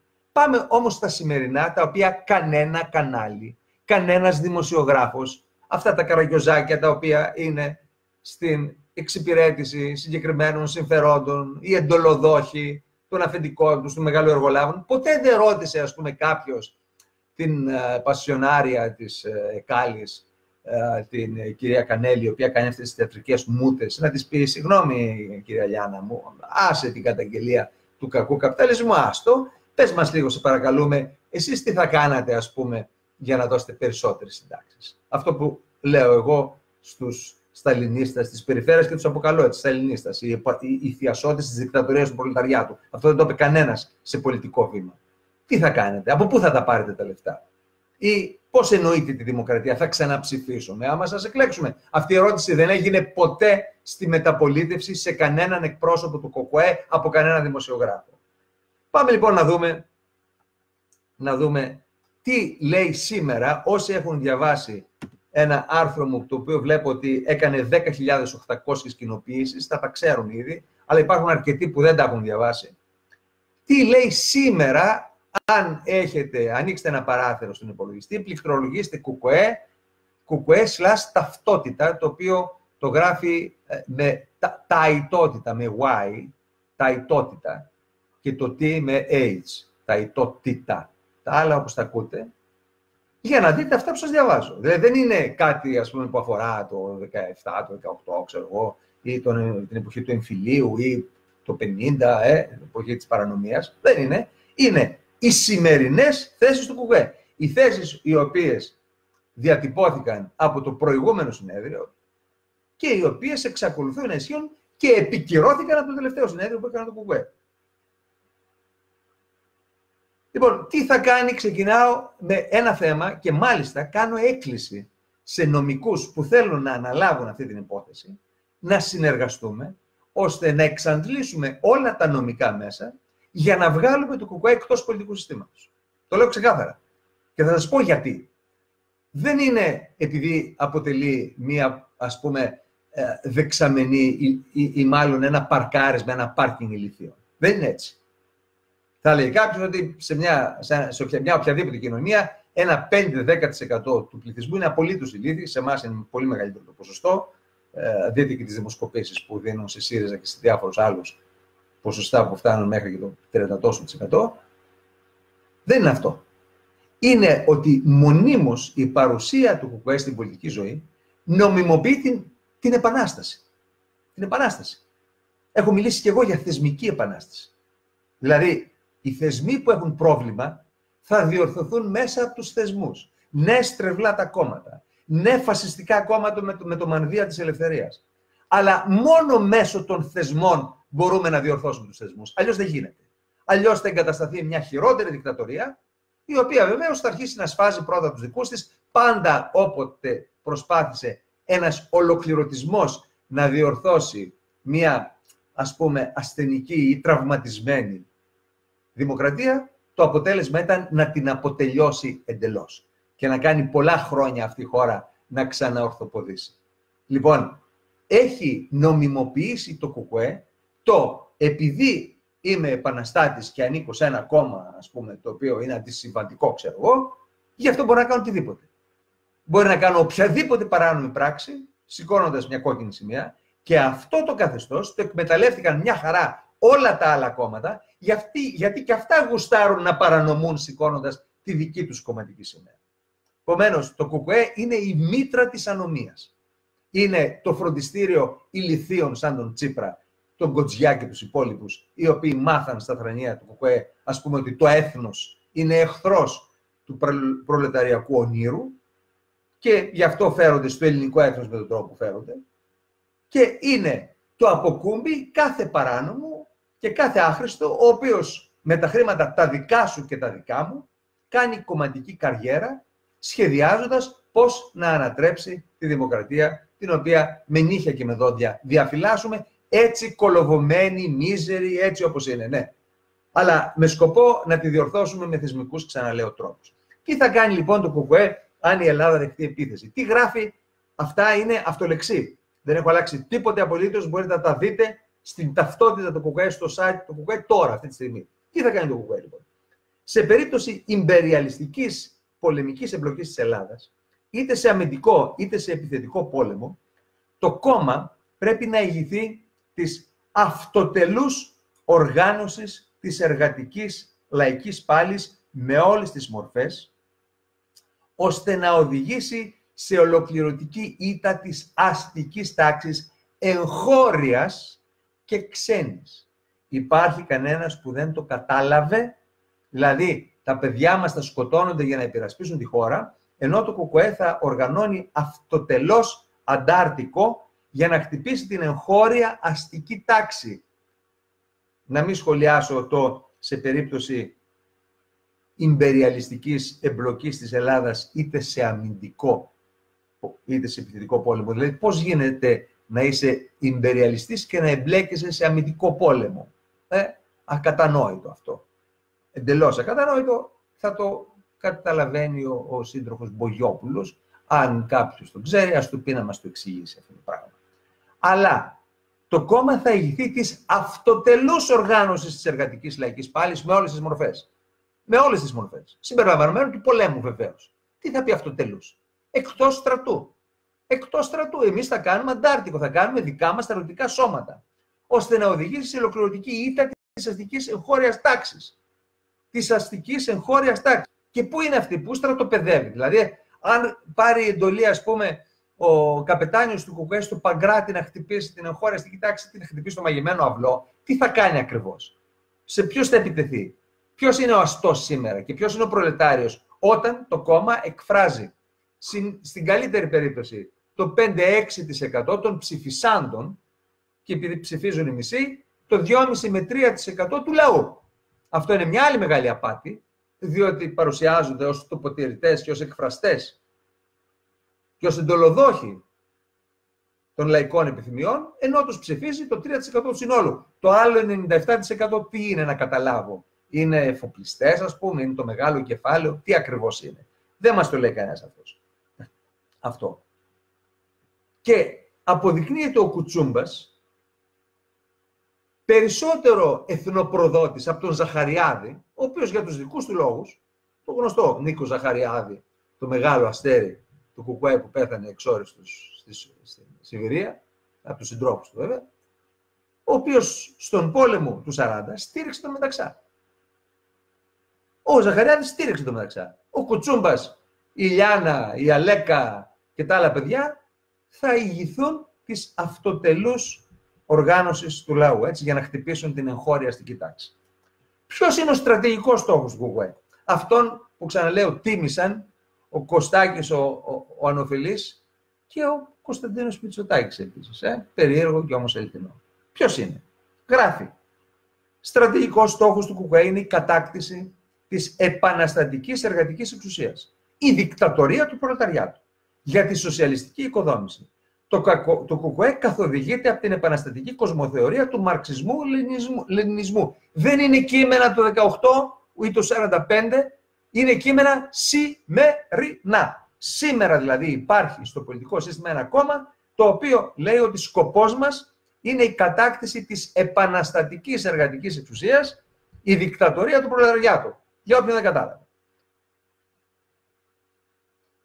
Τι θα κάνει, τι θα κάνει λοιπόν το ΚΚΕ και πώς ερμηνεύει τη μέχρι τώρα πορεία του; Δείτε λιγάκι, έχει κάνει κάποια προσαρμογή ας πούμε το ΚΚΕ στη σημερινή κοινωνία, την κοινωνία των ευκαιριών που δεν είναι καν καπιταλιστική. Δηλαδή, σου δίνει τη δυνατότητα να έχεις ιδέες να γίνεις πλούσιος. Όχι. Το ΚΚΕ στην 95χρονη πορεία του επέδειξε σταθερή προσήλωση στη μαρξιστική λενινιστική ιδεολογία ως επαναστατική θεωρία για την επαναστατική πολιτική δράση. Δεν αποκήρυξε ποτέ την ταξική πάλι, τη σοσιαλιστική επανάσταση, τη δικτατορία του προλεταριάτου. Να το ξαναπώ. Δεν αποκήρυξε ποτέ την ταξική πάλι, τη σοσιαλιστική επανάσταση, τη δικτατορία του προλεταριάτου. Υπάρχει στο πολιτικό σύστημα ένα κόμμα το οποίο λέει δεν αποκήρυξαμε ποτέ τη δικτατορία. Και αυτό, αυτοί έχουμε σκοπό να επιβάλλουμε. Πάμε παρακάτω.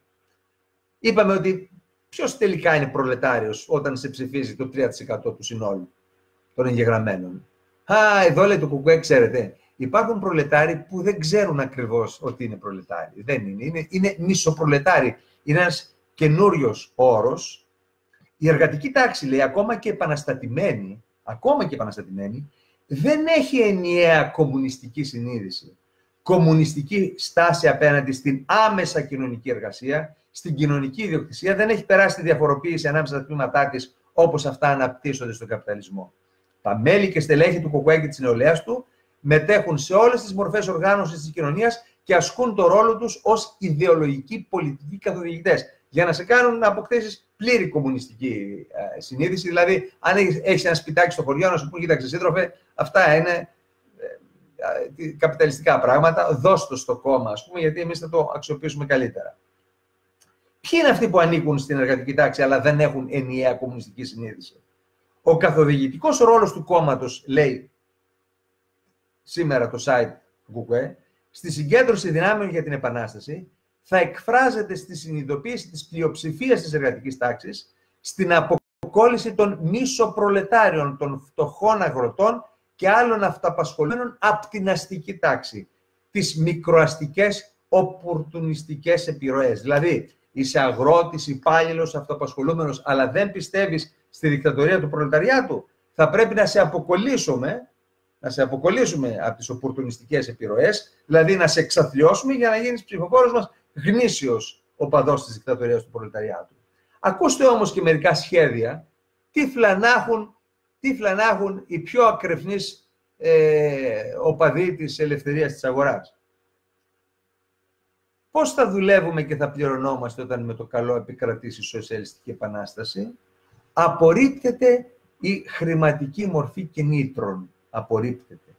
Και πώς θα πληρωνόμαστε, δηλαδή με τι θα αγοράζεις, ας πούμε στο μπακάλι; Δεν θα, δεν θα παίρνεις λεφτά. Τι θα παίρνεις, Υποσχετικές, τέφχη του ριζοσπάστη, τις ομιλίες του Κουτσούμπα, φωτογραφίες της Λιάνας με wet look, τι απ' όλα.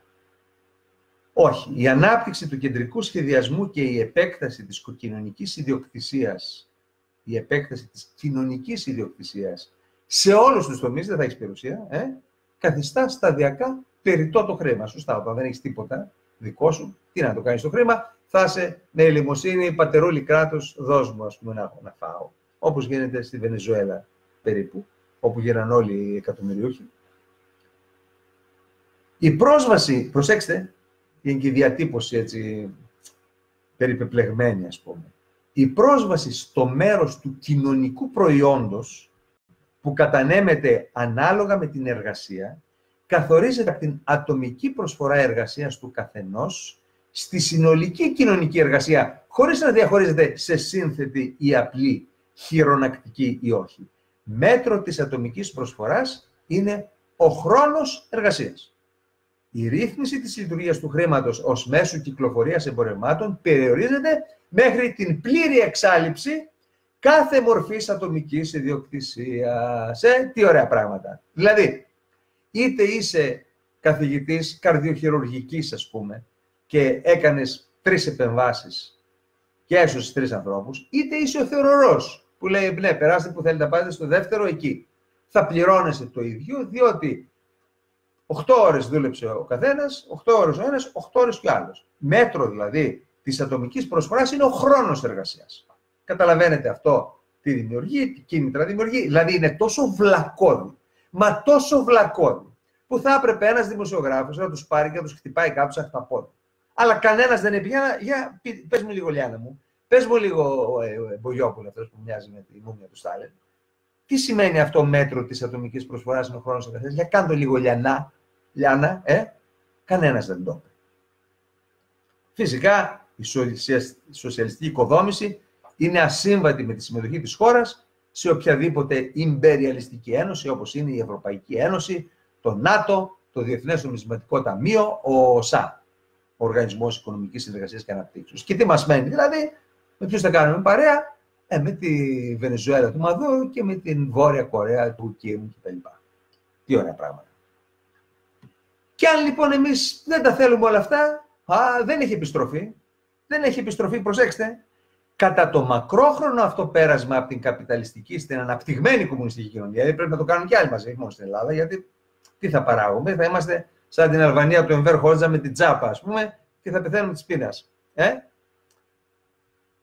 Το Κομμουνιστικό Κόμμα αποκτά προτεραιότητα στη διαμόρφωση, επέκταση και εμβάθυνση στην πλήρη και ανεπίστρεπτη, ε, ανεπιστρεπτή θα το λέγανε αν ξέρανε υλικά, είναι ανεπίστρεπτη, το κάνανε επίθετο, κυριαρχία των νέων κοινωνικών σχέσεων. Δεν υπάρχει περίπτωση να ξαναγυρίσουμε στη δημοκρατία, δικτατορία του προγιάτου. Τέλος. Όχι βουλησιαρχικά, όχι βουλησιαρχικά, δηλαδή όχι ρωτώντα σε, όχι λόγω της βούλησής σου, θες δεν θες, να το πω απλά, αλλά στη βάση των νομοτελειών του κομμουνιστικού τρόπου παραγωγής. Δηλαδή, δεν σε ρωτάμε, θα πάμε σε επανάσταση προλεταριάτου και μετά θα σε χτυπάμε κάτω κανονικά και βεβαίως θα σε εκτελέσουμε, αν διαφωνείς, διότι έχουμε πολλές ιδέες για το στρατό, την αστυνομία, τη δικαιοσύνη, στη θέση του αστικού στρατού και των σωμάτων καταστολής, που θα έχουν διαλυθεί εξ ολοκλήρου, έχουν σκοπό να διαλύσουν το στρατό, να διαλύσουν τα σώματα καταστολής. Δεν είναι η αστυνομία, είναι σώμα καταστολής. Δημιουργούνται νέοι θεσμοί της σοσιαλιστικής ουσίας στη βάση της επαναστατικής πάλης για τη συντριβή της αντίστασης, της αντίστασης των εκμεταλλευτών και την υπεράσπιση της επανάστασης. Διαμορφώνεται νέο στελεχειακό δυναμικό, διαπαιδαγωγημένο με τις αρχές της νέας εξουσίας από νέους με εργατική καταγωγή. Καθόλου ρατσιστές. Βέβαια, όλοι αυτοί που είναι στο ΣΥΡΙΖΑ και στο ΚΟΚΟΕ δεν έχουν και τόσο εργατική καταγωγή. Παιδιά επαναστατημένα μεγαλοαστών ήταν, αλλά αυτοί θα πάρουν νέους με εργατική καταγωγή για να τους κάνουν αστυνομία και έτσι τα καθήκοντα περιφρούρησης των επαναστατικών κατακτήσεων δεν εκτελούνται μόνο από μόνιμα ειδικά σώματα, αλλά και από επιτροπές εργατών. Επιτροπές εργατών.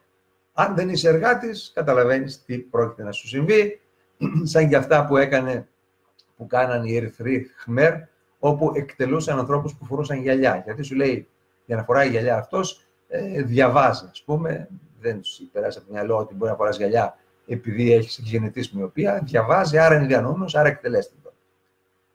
Και φυσικά δεν χρειαζόμαστε δικαιοσύνη, δεν υπάρχει λόγος να έχουμε δικαιοσύνη, διότι έχουμε ένα ανώτατο όργανο εργατικής εξουσίας, ένα ανώτατο όργανο, το οποίο έχει πλήρες εξουσίες νομοθετικές, εκτελεστικές, δικαστικές, τις οποίες οργανώνει αντίστοιχα με επιτελικές δομές.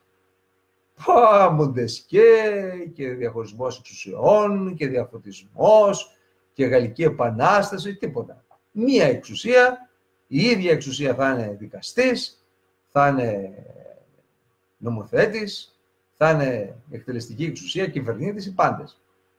Όπως έκανε ο Στάλιν. Φυσικά δεν θα υπάρχει δικαιοσύνη, διότι το επαναστατικό εργατικό σύνταγμα και η ανάλογη νομοθεσία δεν ανατριχιάζεται δεν σας πιάνει το στομάχι από την αηδία. Αυτοί οι άνθρωποι είναι στο κοινοβούλιο, τους καλούν κάθε μέρα στα πάνελς και πληρώνονται από τα λεφτά σου, τα λεφτά μου, έτσι. Το επαναστατικό εργατικό σύνταγμα και η ανάλογη νομοθεσία συγκροτούν το νέο δίκαιο. Μπα, θα υπάρχει και δίκαιο που αντιστοιχεί στις νέες οικονομικές σχέσεις. και στα τρία επίπεδα οργάνωσης εξουσίας, δηλαδή εργασιακό, περιφερειακό και πανελλαδικό, ανήκει η περιφρούρηση της Επανάστασης της λαϊκής δικαιοσύνης. Λαϊκή δικαιοσύνη. Και τι θα αποφασίζει η λαϊκή δικαιοσύνη, προσέξτε τη μαρμάγκα που θα πάει τους διαφωνούντες. Η έκταση και οι μορφές που χρησιμοποιεί η επαναστατική εργατική εξουσία για την καταστολή της αντεπαναστατικής δράσης δεν είναι εμφύλιος, ξαναλέω, δεν είναι πηγάδα φενεού, πηγάδα με λιγαλά. Είναι 2018 Κομμουνιστικό Κόμμα σήμερα και λέει ότι η έκταση και οι μορφές που θα χρησιμοποιεί η επαναστατική εξουσία για την καταστολή των αντεπαναστατών εξαρτώνται από τη στάση πολιτικών και κοινωνικών οργανώσεων απέναντι στις δύο αντιμαχόμενες δυνάμεις, την εργατική και την καπιταλιστική. Ποια είναι η στάση σου, είσαι εχθρός το, της εργατικής δύναμης, άρα με τους καπιταλιστές. Τους εκτελούμε. Στην καλύτερη περίπτωση με σφαίρα ή με όλους τους άλλους μηχανισμούς, κονσερβοκούτια κτλ. Και, και σε πετάμε στο πηγάδι. Ξαναλέω, να τίνω χείρα συμφιλίωσης. Αλλά πρέπει και ο άλλος Πρέπει και ο άλλος να, να πει παρακαλώ για να χαιρετηθούμε. Δεν γίνεται να είσαι με το χέρι ορούμενο, ας πούμε, κι άλλος να μεθοδεύει την εξόντωση της δημοκρατίας. Γιατί η εξόντωση της δημοκρατίας σημαίνει εξόντωση όλων μας. Αλλά ακούτε να δείτε ποια είναι η στάση τους για τους δημοσίους υπαλλήλους. Τι φλανάκι ο Τζίμερος, ε; προσέξτε. Από το αυτί και στο χωράφι. Από το αυτί και στο χωράφι, προσέξτε. Η σοσιαλιστική εξουσία που παραλαμβάνει από τον καπιταλισμό σκληρονομιά μεγάλο αριθμό μισθωτών που προέρχονται από τις διοικητικές υπηρεσίες του καπιταλισμού, κρατικούς υπαλλήλους δηλαδή εντός παρένθεσης, επιδιώκει την πολιτική και πολιτιστική, ένα πακέτο παρά αυτά, προσαρμογή και εργασιακή ένταξή τους στις σοσιαλιστικές παραγωγικές δυνάμεις. Ε, τι κάνεις τώρα στο γραφείο, στις σοσιαλιστικές παραγωγικές δυνάμεις. Στα κολχόζ. Πήγαινε εκεί να δουλέψεις και αν συμβεί κάτι αυτό που συνέβη με την Ουκρανία, ε, θα πούμε εντάξει, ήταν ένα στατιστικό, μια στατιστική καταγραφή, διότι ένας νεκρός είναι ένας νεκρός. Αλλά 10 εκατομμύρια νεκροί είναι απλώς στατιστική, όπως συνέβη με τον λοιμό της Ουκρανίας, ας πούμε, έργο του Πατερούλη επίσης. Αυτά λοιπόν είναι είναι και άλλα, δεν σας τα διαβάζω γιατί αρκετοί τα έχουν διαβάσει. Είναι το άρθρο μου, διαδώστε το σας παρακαλώ. Δηλαδή θέλω αυτό το άρθρο να κάνει ένα εκατομμύριο κοινοποίησει. Είναι το άρθρο που έγραψα στο Market News με τίτλο «Οι βιαστές που κρύβονται στα φουστάνια της δημοκρατίας». Διότι περί αυτού, αυτού πρόκειται. Η δημοκρατία δίνει σε αυτούς τους ανθρώπους το πλαίσιο της πολιτικής τους δραστηριότητας και αυτοί μεθοδεύουν την ανατροπή της. Και βεβαίως, όταν κάτι θες να το ανατρέψεις, δεν σε νοιάζει καθόλου να το βελτιώσεις. Όλες οι προσπάθειες που γίνονται για να... και έχουν γίνει στο παρελθόν από κάποια άτομα, ακόμα και σε αυτό το πολιτικό σύστημα. Και από τη Νέα Δημοκρατία και από τον Μασογνά, ας πούμε, μνημόνευσαν τον Τρίτσι, ο οποίος προσπάθησε να βάλει μια τάξη στο χωροταξικό μπάχαλο της χώρας. Δεν τα κατάφερε. Δεν τα κατάφερε. Σας είπα ότι δίνουν συνεχώς παρατάσεις στον νόμο περί αφαιρέτων, ακόμα και σήμερα υπάρχει παράταση, τρέχει παράταση, ας πούμε. Και θα δίνουν μέχρι να φύγουν από την εξουσία. Όσες προσπάθειες λοιπόν γίνανε για να μπει α, μια τάξη κάπως ή να βελτιωθούν κάπως οι θεσμοί, είχαν να αντιμετωπίσουν πάντα την κάθετη αντίδραση του ΚΚΕ. Το βλέπω και στην περιφέρεια. Έρχονται κάποια πράγματα τα οποία εγώ τα ψηφίζω. Δηλαδή, μην, μην νομίζετε ότι η δημιουργία ξανά με τον Κωστή Ψαραδέλη και εμένα είμαστε του όχι σε όλα. Υπάρχουν κάποια θέματα τα οποία είναι θετικά και τα ψηφίζουμε. Μάλιστα θα δείτε ότι ε, οι αποφάσεις τις οποίες έχουμε θετική ψήφο είναι πολύ περισσότερες από αυτές τις οποίες έχουμε αρνητική. Δηλαδή θα γίνει ένα έργο αποχέτης, θα πεις όχι. Ή θα δημορφώσει ένας Δήμος μια πλατεία. Ασχέτως από το αν υπάρχουν χρήματα ή δεν υπάρχουν. Ε, τι θα πεις, δεν διαμορφώνω. Ήρθε προχθές ο Χρήστος ο παππούς που είναι και φίλος ο δήμαρχος Φίλης, ο οποίος μου λέει ότι θέλω να φτιάξω το κέντρο της πόλης, το οποίο είναι διαλυμένο 40 χρόνια. Τώρα είναι τίποτα, είναι ένα κέντρο το οποίο να ντρέπεσαι, ας πούμε. Και θέλω να το διαμορφώσω με ένα πολύ ωραίο σχέδιο. Ε, το ψήφισα, γιατί δεν το ψήφισα. Το κουκουέ, ακόμα και σε αυτά, ας πούμε. Διότι αυτά δεν γίνονται για το λαό, αλλά γίνονται για την ε, προώθηση των καπιταλιστικών ε, συμφερόντων. Και να μην μιλήσουμε για θέματα Ευρωπαϊκής Ένωσης. Εκεί το ΚΚΕ είναι κάθετο, ακόμα να, θυμάμαι την Πέμπτη, μιλήσαμε για ένα επιστημονικό παρατηρητήριο της διάβρωσης των ακτών μέσω δορυφόρου, στο οποίο συμμετέχει η Ελλάδα. Είναι ένα πολύ καλό πρόγραμμα για να βλέπουμε ε, πού διαβρώνονται οι ακτές, πού η θάλασσα προχωράει, πώς η άνοδος της στάθμης της θάλασσας μπορεί να απειλήσει κάποιες περιοχές, να έχεις στο μυαλό σου αν πρέπει να χτιστούν κάποια στιγμή φράγματα ή να ανυψωθούν κάποιες παραλίες ή κάποιες προκυμές. Όλα αυτά χρειάζονται να μελετώνται. Όχι, το κουκουέ, γιατί αυτά θα είναι στην υπηρεσία του κεφαλαίου και όχι των λαϊκών στρωμάτων. Αυτή λοιπόν η μόνιμη αντίδραση σε οτιδήποτε μπορεί να βελτιώσει, ξαναλέω, το τραυματισμένο, το, το βαριά πάσχον δημοκρατικό μας σύστημα, είναι η μήτρα από την οποία ξεκινάνε οι επαναστάτες της Πορδής με τα λεφτά του μπαμπά, οι επαναστάτες με τη Βαριοπούλα και τις φιλοσοφίες, ξέρω εγώ, περί α, επανάστασης που θα ξεκινήσει από το Χαλάνδρη. Έχουν εδώ, υπάρχει και ένας ο οποίος μου στέλνει διάφορα μηνύματα στο Βίκονα, ενδεικτικά της ποιότητας του κεφάλου του. Ε, είναι αυτοί οι οποίοι δημιουργούν μία μόνιμη μήτρα παρανομίας σε αυτή τη χώρα. Θα έπρεπε λοιπόν το ΚΚΕ να φύγει, να εξοβελιστεί, να εξοριστεί από το πολιτικό σύστημα και να μείνει ως κάποιοι γραφικοί οι οποίοι έχουν μια φασιστική ιδεολογία την οποία η δημοκρατία τους επιτρέπει να την εκφράζουν. Μέχρι εκεί όμως. Κάποιοι συνδέουν το ΚΚΕ με τη Χρυσή Αυγή και λένε ότι όταν ο ένας Πρέπει να φύγει και ένας φασισμός και ο άλλος φασισμός. Προσέξτε να δείτε τι σημαίνει. Ο Μιχαλολιάκος έχει εκφραστεί κα, κατά της δημοκρατίας. Αλλά δεν έχει εκφραστεί επισήμως μέσα από το καταστατικό της Χρυσής Αυγής ή από τα κομικά κείμενα που έχει ως πρόγραμμα της Χρυσής Αυγής, όπως υπάρχουν στο site της Χρυσής Αυγής. Αναφέρει κάτι έτσι νεφελώδη για ε, εκφράζεται η λαϊκή κυριαρχία μέσα από τον ηγέτη, αλλά μέχρι εκεί δεν μιλάει για τη δημοκρατία, δεν αναφέρει πουθενά τη λέξη δικτατορία, πουθενά μα πουθενά. Και αυτά που ανέφερε ο ίδιος λέγοντας ότι είναι ο παδός, ας πούμε, ότι δεν πιστεύει στη δημοκρατία, τα είπε σε μια παρέα χρυσαυγητών. Όλοι ξέρουμε δηλαδή ότι η Χρυσή Αυγή δεν πιστεύει στη δημοκρατία, αλλά επισήμως δεν έχει εκφραστεί αυτό πουθενά.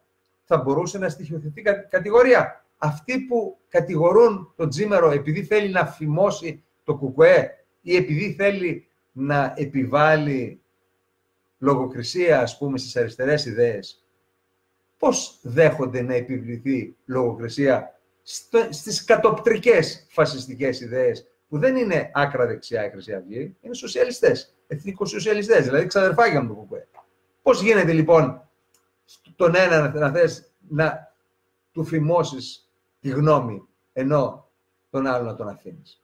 Ή θα αποφασίσουμε ότι ισχύει για όλους ή για κανέναν. Η άποψή μου, το ξαναλέω, είναι ότι σε ένα ελεύθερο, φιλελεύθερο, αμήν και πότε να γίνει κράτος, έχεις δικαίωμα να εκφράζεις οποιαδήποτε άποψη. Οποιαδήποτε άποψη. Να λες ότι εγώ πιστεύω ότι θα έρθει η φυλή των ΕΛ, ας πούμε, και αυτή θα μπορέσει να βοηθήσει τη χώρα, ε, ξέρω εγώ, ε, σκοτώνοντας τους παλιούς πολιτικούς. Αλλά εάν αυτά που πιστεύεις είναι ασύμβατα με τη δημοκρατία, δεν μπορείς να παίρνεις μέρος στο πολιτικό σύστημα. Και εάν η δημιουργία ξανά γίνει κυβέρνηση, το ΚΚΕ δεν θα συμμετέχει στις εκλογές.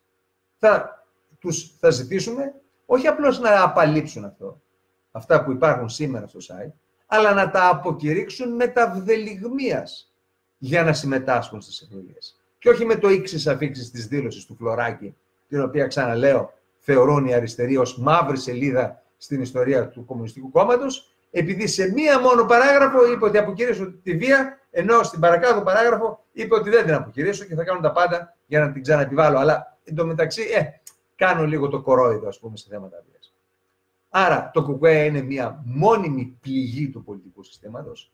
Εάν διατυπώσει παρόμοιες θέσεις και η Χρυσή Αυγή, και αυτή θα πρέπει να τεθεί εκτός πολιτικού συστήματος, ή αν αποδειχθεί ότι από αυτή τη δίκη, τι γίνεται αυτή η δίκη, ε, ότι οργανώνεται με έναν τρόπο συνομωτικό κατά της δημοκρατίας και να πάρουν μέρος στη δημοκρατία όχι τα δημοκρατικά κόμματα, κανένα δεν είναι δημοκρατικό, αλλά τουλάχιστον αυτά που σέβονται τον βασικό θεσμό της δημοκρατίας, δηλαδή τις εκλογές, και θέλω να πιστεύω ότι ο σοφός λαός κάποια στιγμή θα ψηφίσει ανθρώπους οι οποίοι θέλουν να την φτιάξουν τη δημοκρατία. Δηλαδή να φτιάξουν ένα σύγχρονο κράτος, με σύγχρονους δημοκρατικούς θεσμούς, με θεσμούς α, αντιβάρων, ας πούμε, checks and balances των εξουσιών, έτσι ώστε να μην συγκεντρώνεται στα χέρια της κυβέρνησης και η νομοθετική και η δικαστική εξουσία, γιατί αυτό γίνεται τώρα.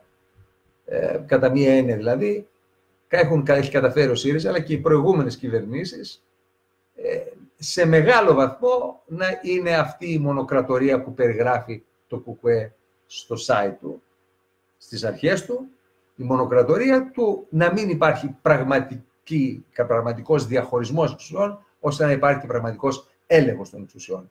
Και τελειώνοντας, κάνω έκκληση, στείλτε μου προσωπικά μηνύματα, εάν κάποιοι νομικοί θέλουν να ασχοληθούμε σοβαρά με αυτή την υπόθεση.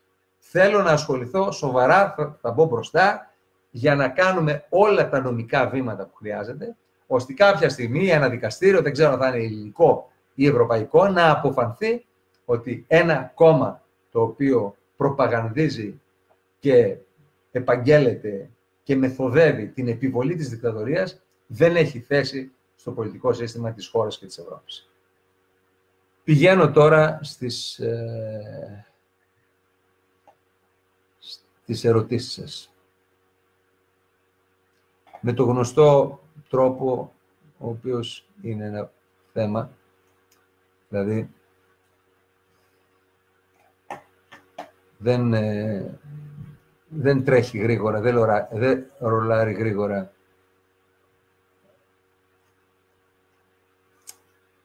Είναι πάρα πολλές, είναι 259 σχόλια. Ε, ε, είναι αδύνατον, αδύνατον να τα απαντήσω όλα. Θα απαντήσω τα...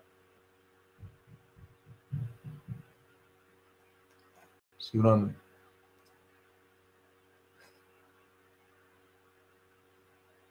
Η Χρυσή Αυγή λέει ο Πάνος Κατημερτζής είναι σοσιαλιστική, γελάνε και οι πέτρες. Ε, δεν ξέρω αν είναι στον εαυτό σου Πάνο Κατημερτζή. Η ευφυΐα σου πάντως δεν είναι η μεγαλύτερη της πέτρας. Βεβαίως είναι σοσιαλιστική. Μπες και διάβασε το πρόγραμμά τους, να δεις ας πούμε ότι προβλέπουν μοίρασμα των χωραφιών. Είναι κατά της μεγάλης ιδιοκτησίας στα χωράφια. Δηλαδή να προσπαθούμε εμείς να έχουμε, δηλαδή προσπαθεί όλος ο κόσμος να έχει οικονομίες κλίμακας, αυτοί λένε ότι πόσα στρέμματα, έχεις 100 στρέμματα, θα τα πάρω και θα δώσω από 5 στρέμματα σε όλους τους ακτήμονε. Τι είναι αυτό; Σοσιαλισμός είναι. Οι πέτρες μπορούν να συνεχίσουν να γελάνε μαζί και εσύ έτσι. Όταν παίζεις ένα παιχνίδι, λέει η Βαλεντίνα, παίζεις με το κανόνα του, προφανώς. Προφανώς. Παίζεις με τους κανόνες του. Δύο ερωτήσεις. Το ΚΚΕ αρνείται κάθε έλεγχο στα οικονομικά του. Δεν θα έπρεπε να σταματήσει η χρηματοδότησή του. Αυτή είναι μία ερώτηση. Θα έπρεπε να είχε σταματήσει θα έπρεπε να είχε σταματήσει η χρηματοδότηση την πρώτη φορά που το ΚΚΕ, το, το ΚΚΕ είπε δεν δέχομαι να ελέγξετε το πώς χρησιμοποίησα τα χρήματα των φορολογουμένων. Θα σας πω και ένα ανέκδοτο. Κάποια στιγμή ήρθε από, δεν θυμάμαι το εφετείο, ένας φάκελος, έτσι, βαρβάτος, ας πούμε, με υπογραφά, προς τον κύριο Τζίμερο, ε, δημιουργία ξανά, το οποίο ούτε λίγο ούτε πολύ έλεγε ότι ε, αποφασίσαμε να σας χαρίσουμε, ας πούμε, και δεν θα σας ε, διώξουμε για το μεγάλο ε, οικονομικό, ε, αυτό που κάνατε, το μεγάλο, το μεγάλο οικονομικό έγκλημα που κάνατε, διότι σκεφτήκαμε ότι δεν, δεν υπήρχε πρόθεση. Να σας πω τι ήταν αυτό που κάναμε και μας ήλεγξαν και δεν ελέγχουν το ΚΚΕ. Για τις εκλογές στην περιφέρεια, ο νόμος προβλέπει πως κάθε συνασπισμός, κάθε υποψήφια, κάθε, κάθε συνδυασμός μπορεί να ξοδέψει μέχρι 900.000 ευρώ. Και προβλέπει το εξής. Κάθε υποψήφιος πρέπει να έχει τον προσωπικό ε, εκλογικό λογαριασμό στην τράπεζα. Δηλαδή, αν είμαι υποψήφιος, αν είσαι υποψήφιος, θα πρέπει να ανοίξεις ένα λογαριασμό στην τράπεζα, στον οποίο να καταγράφεις έσοδα-έξοδα. Και να λες: Πλήρωσα πολιτικό γραφείο τόσο, τύπωσα έντυπα τόσο και πήρα χρήματα, ξέρω εγώ, από αυτόν τον χρηματοδότη. Είμαι δωρεές με αυτόν τον τρόπο. Εμείς ούτε τυπώναμε τίποτα, είχαμε μηδέν έσοδα, μηδέν έξοδα και από τα 900, από τις 980.000, δεν θυμάμαι ακριβώς το ποσό, που σου δίνει τη δυνατότητα ο νόμος, είχαμε εξοδέψει 11. Δηλαδή είχαμε εξοδέψει 11.000. Ελέγχαν λοιπόν διάφοροι εφέτες το εάν ήταν νόμιμα τα 11.000 που ξοδέψαμε, γιατί όλα δεν διαδικτυακά τα κάναμε, δεν τυπώσαμε ούτε μισή αφήσα. Και επίσης βρήκαν τη μάνα κάποιου που τη βάλαμε για την ποσόστοση, γιατί πρέπει να παρουσιάσεις έναν αριθμό περιφερειακών συμβούλων και να είναι ποσόστοση ανθρώπων και γυναικών. Και βάλαμε τη μάνα ενός υποψηφίου, ας πούμε, μπήκε και η μάνα του, η οποία δεν άνοιξε λογαριασμό εκλογικό. Οι περισσότεροι ανοίξαμε, αλλά ξέρετε, τα μεγάλα κόμματα έχουν υπαλλήλους για αυτή τη δουλειά. Δηλαδή, πάει ένας υπάλληλος και ανοίγει 300 εκλογικούς λογαριασμούς, ας πούμε, με εξουσιοδοτήσεις και τελειώνει η υπόθεση. Εμείς δεν έχουμε τέτοιο μηχανισμό και ο κάθε υποψήφιος πήγαινε στην τράπεζα και έλεγε να ανοίξω ένα λογαριασμό, γιατί πήρε την πληροφορία αυτή. Ε, η μάνα του λοιπόν δεν άνοιξε λογαριασμό. Και ήταν αυτό το μέγα, το μέγα παράπτωμα της δημιουργίας, για την οποία την ψάχναν μήνες ολόκληρου και έπαιρνα τηλέφωνο το Γιάννη Σαρή, που είναι ο οικονομικός διευθυντής, ο γενικός διευθυντής δημιουργίας και ασχολείται με τα οικονομικά, και μου έλεγε: Έχω έλεγχο και έχω έλεγχο και έχω έλεγχο για αυτή την ιστορία. Και το Κουκουέ που είναι στη Βουλή και παίρνει εκατομμύρια, ενώ η δημιουργία ξανά, ξαναλέω, δεν πήρε φράγκο για την εκπροσώπησή της στην περιφέρεια και από όλα όσα έχει κάνει όλα αυτά τα χρόνια έχει πάρει μόνο 166.000 ευρώ. Βέβαια, κάποιοι αλήτες γράψαν για 750.000. Όταν αυτά που πληρώσαμε μόνο για παράβολα, να πάρουμε μέρος εκλογές και για ψηφοδέλτια και για μεταφορές, αυτά τα ανελαστικά έξοδα που σου επιβάλλει ο νόμος να κάνεις, είναι παραπάνω από 250.000. Καταλάβατε, δηλαδή δίνουμε συνέχεια από την τσέπη μας. Το λέω αυτό γιατί το κουκουέ λέει δεν δέχομαι έλεγχο και δεν τρέχει τίποτα, ενώ εμάς μας κάνουν φίλο φτερό να βρουν γιατί η 75 χρονών υποψήφια μάνα ενός στελέχους της δημιουργίας δεν άνοιξε ε, εκλογικό λογαριασμό στην τράπεζα. Λοιπόν, όσοι πιστεύουν, λέει ότι θα είναι ε, μια ένα πολύ σοφό σχόλιο, είπε ο Μιχάλης Κοντογιάννης, όσοι πιστεύουν ότι θα είναι ε, στη δικτατορία του προλεταριάτου, φαντάζομαι ότι θα είναι δεσμοφύλακες και όχι κρατούμενοι στα γκούλα. Γελιούνται. Θα υπάρξουν δεσμοφύλακες για κάποιο διάστημα και μετά θα είναι κρατούμενοι όταν αλλάξει η εξουσία, όπως γίνεται πάντα με αυτές τις δικτατορίες. Ο Αντρέα Μπρακατσέλος, κύριε Τζίμερ, μην ελπίζετε στο λαό. Ειλικρινά πιστεύει κανείς ότι δεν μας αξίζουν αυτά που έχουμε πάθει. Φίλε μου, δεν ελπίζω στον λαό. Ελπίζω στους νοήμονες πεπαιδευμένους Έλληνες. Ε, είναι πάρα από 3%. Δεν είναι λιγότερο δηλαδή. Εγώ υπολογίζω ότι είναι ένα ποσοστό 10 με 15%, όχι παραπάνω. Αλλά αρκετό για να μπει μια πρώτη σφήνα στον κομματισμό και σε αυτού του τύπου τη διαχείριση εξουσίας.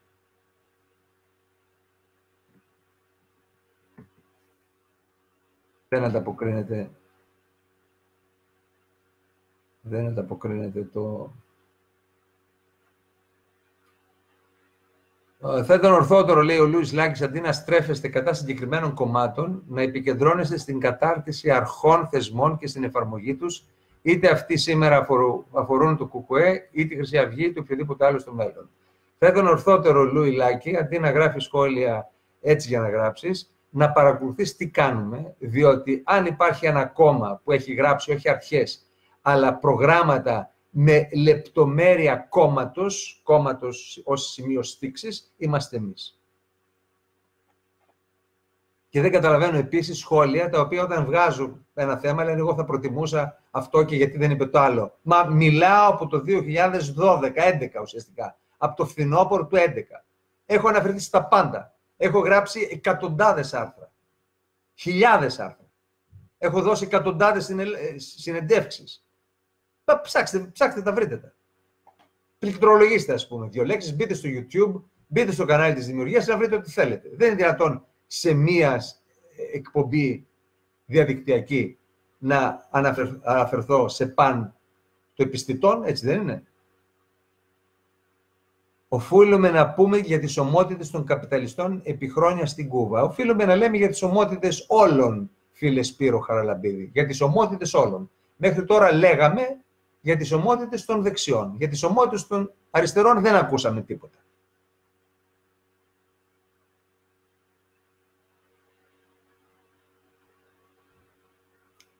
Το ΚΚΕ δεν αποκαλύπτει επίσης πηγές χρηματοδότησή του. Μάθαμε πάντως ότι επί Χαρίλα Φλωράκη ερχόταν καραβανιές με δολάρια από τη Ρωσία. Γιατί το δολάριο μετρούσε, το ρούβλι δεν είχε αξία.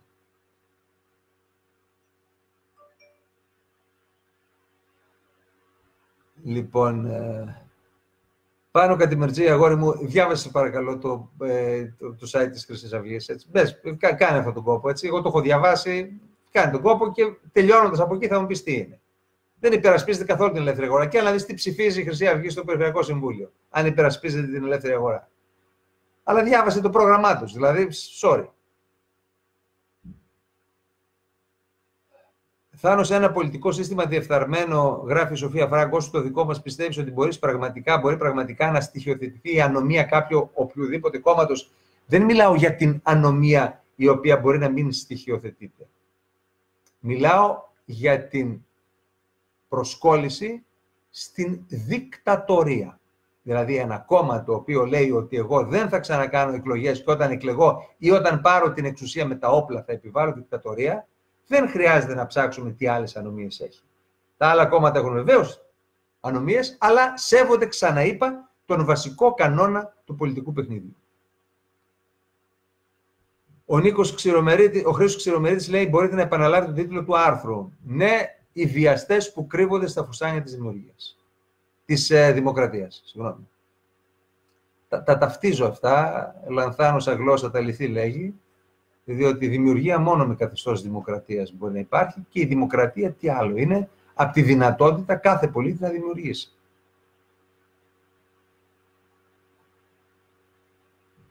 Λοιπόν, ναι.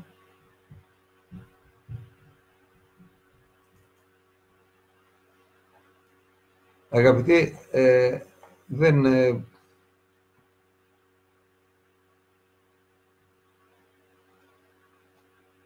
Ναι. Ίσως πρέπει σε μια, σε μια άλλη εκπομπή, με κάποιο τρόπο να γίνεται ένα ξεσκαρτάρισμα σε αυτά. Βέβαια, αυτό α, θα επιστρατεύσει κάποιους να κάνουν μαζί μου, ας πούμε. Όταν, ε, ε, ναι, κάποιος πρέπει να τα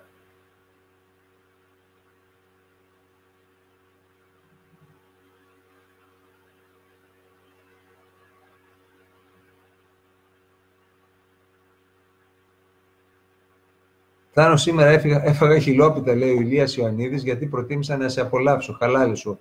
Θα έλεγα ότι ουδέν κακό να μιλιάς καλό, δηλαδή αν κάποια σου έριξε χιλόπιτα ε, γιατί θέλεις να ενδιαφερθείς για το μέλλον σου, το μέλλον της και ενδεχομένως σε περίπτωση που η σχέση προχωρούσε το μέλλον των παιδιών σας, ε, καλά έκανες και έφαγες χιλόπιτα και καλά έκανες, καλά θα κάνεις να μην ξανασχοληθείς.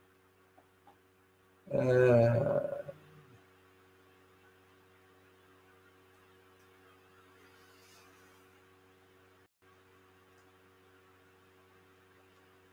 Επιτέλους κάποιος έπρεπε να τα πει αυτά, όχι να πληρώνουμε την τσέπη μας τα ορφανά του Στάλιν. Τα, τα χρυσοπληρώνουμε, αγαπητέ Παναγιώτη Χριστοδούλου. Τα χρυσοπληρώνουμε. Θάνο έχει Μουντιάλ τώρα, η μεγάλη σοβιετική πατρίδα πάει τελικό. Ε, ας πάει. Τελικό μάλλον δεν είναι η σοβιετική πατρίδα, γιατί η σοβιετική πατρίδα πήγε στον δικό της τελικό, τελικό τελικό.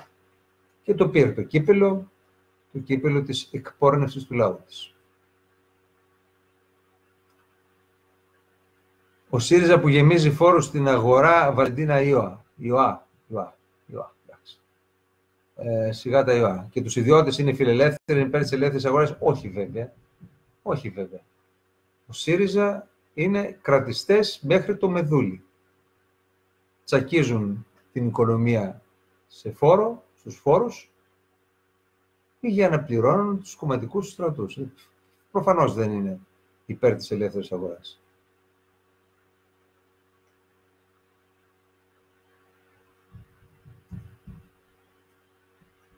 Ούτε η Ελλάδα έχει ποτέ σύστημα υπέρ της ελεύθερης αγοράς. Ουδέποτε.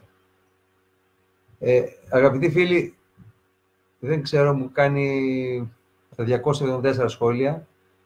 Έχει κολλήσεις. Αργούν να έρθουν. Έχει, υπάρχει ένα, ένα, ένας προγραμματισμός του Facebook να τρέχουν αργά αυτά τη στιγμή που ανεβαίνουν. Και εγώ τώρα που θέλω να τα πάρω από την αρχή, ε, δυσκολεύεται να, να μου δώσετε σχόλια. Ο Χίτλερ, α, Εθνικό Σοσιαλιστικό Κόμμα είχε βεβαίως. Φυσικά. Ο Χίτλερ δεν ήταν άκρα δεξιά, αριστερή, αριστερός ήταν.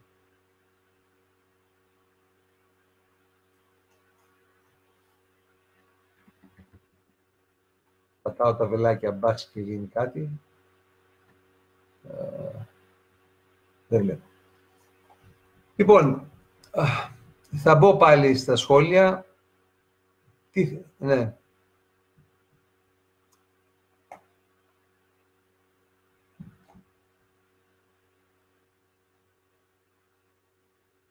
Ναι. Ε, επειδή αυτό το πράγμα είναι ανιαρό να το παρακολουθείτε, συγγνώμη, σταματάω εδώ. Ε, κάτι πρέπει να κάνω με τα σχόλια, ώστε να μπορώ να τα, να τα απαντάω, ίσως με έναν άλλο μηχανισμό να μου έρχονται σε έναν άλλο υπολογιστή και να τα βλέπω από εκεί, αφού κάποιος σκαρτάρει. Ε, και σας ευχαριστώ που το παρακολουθήσατε. Δεν ξέρω αν ο αγώνας ποιος είναι, έχει λήξει, σε ποια φάση βρίσκεται. Σας αφήνω να δείτε το άλλο ντέρμπι. Το ντέρμπι με τις δυνάμεις της ανομίας, εμείς θα το συνεχίσουμε και θα το συνεχίσουμε μέχρι να καταφέρουμε αυτή η χώρα να γίνει μια σοβαρή δυτική αξιοπρεπής χώρα. Να είστε καλά.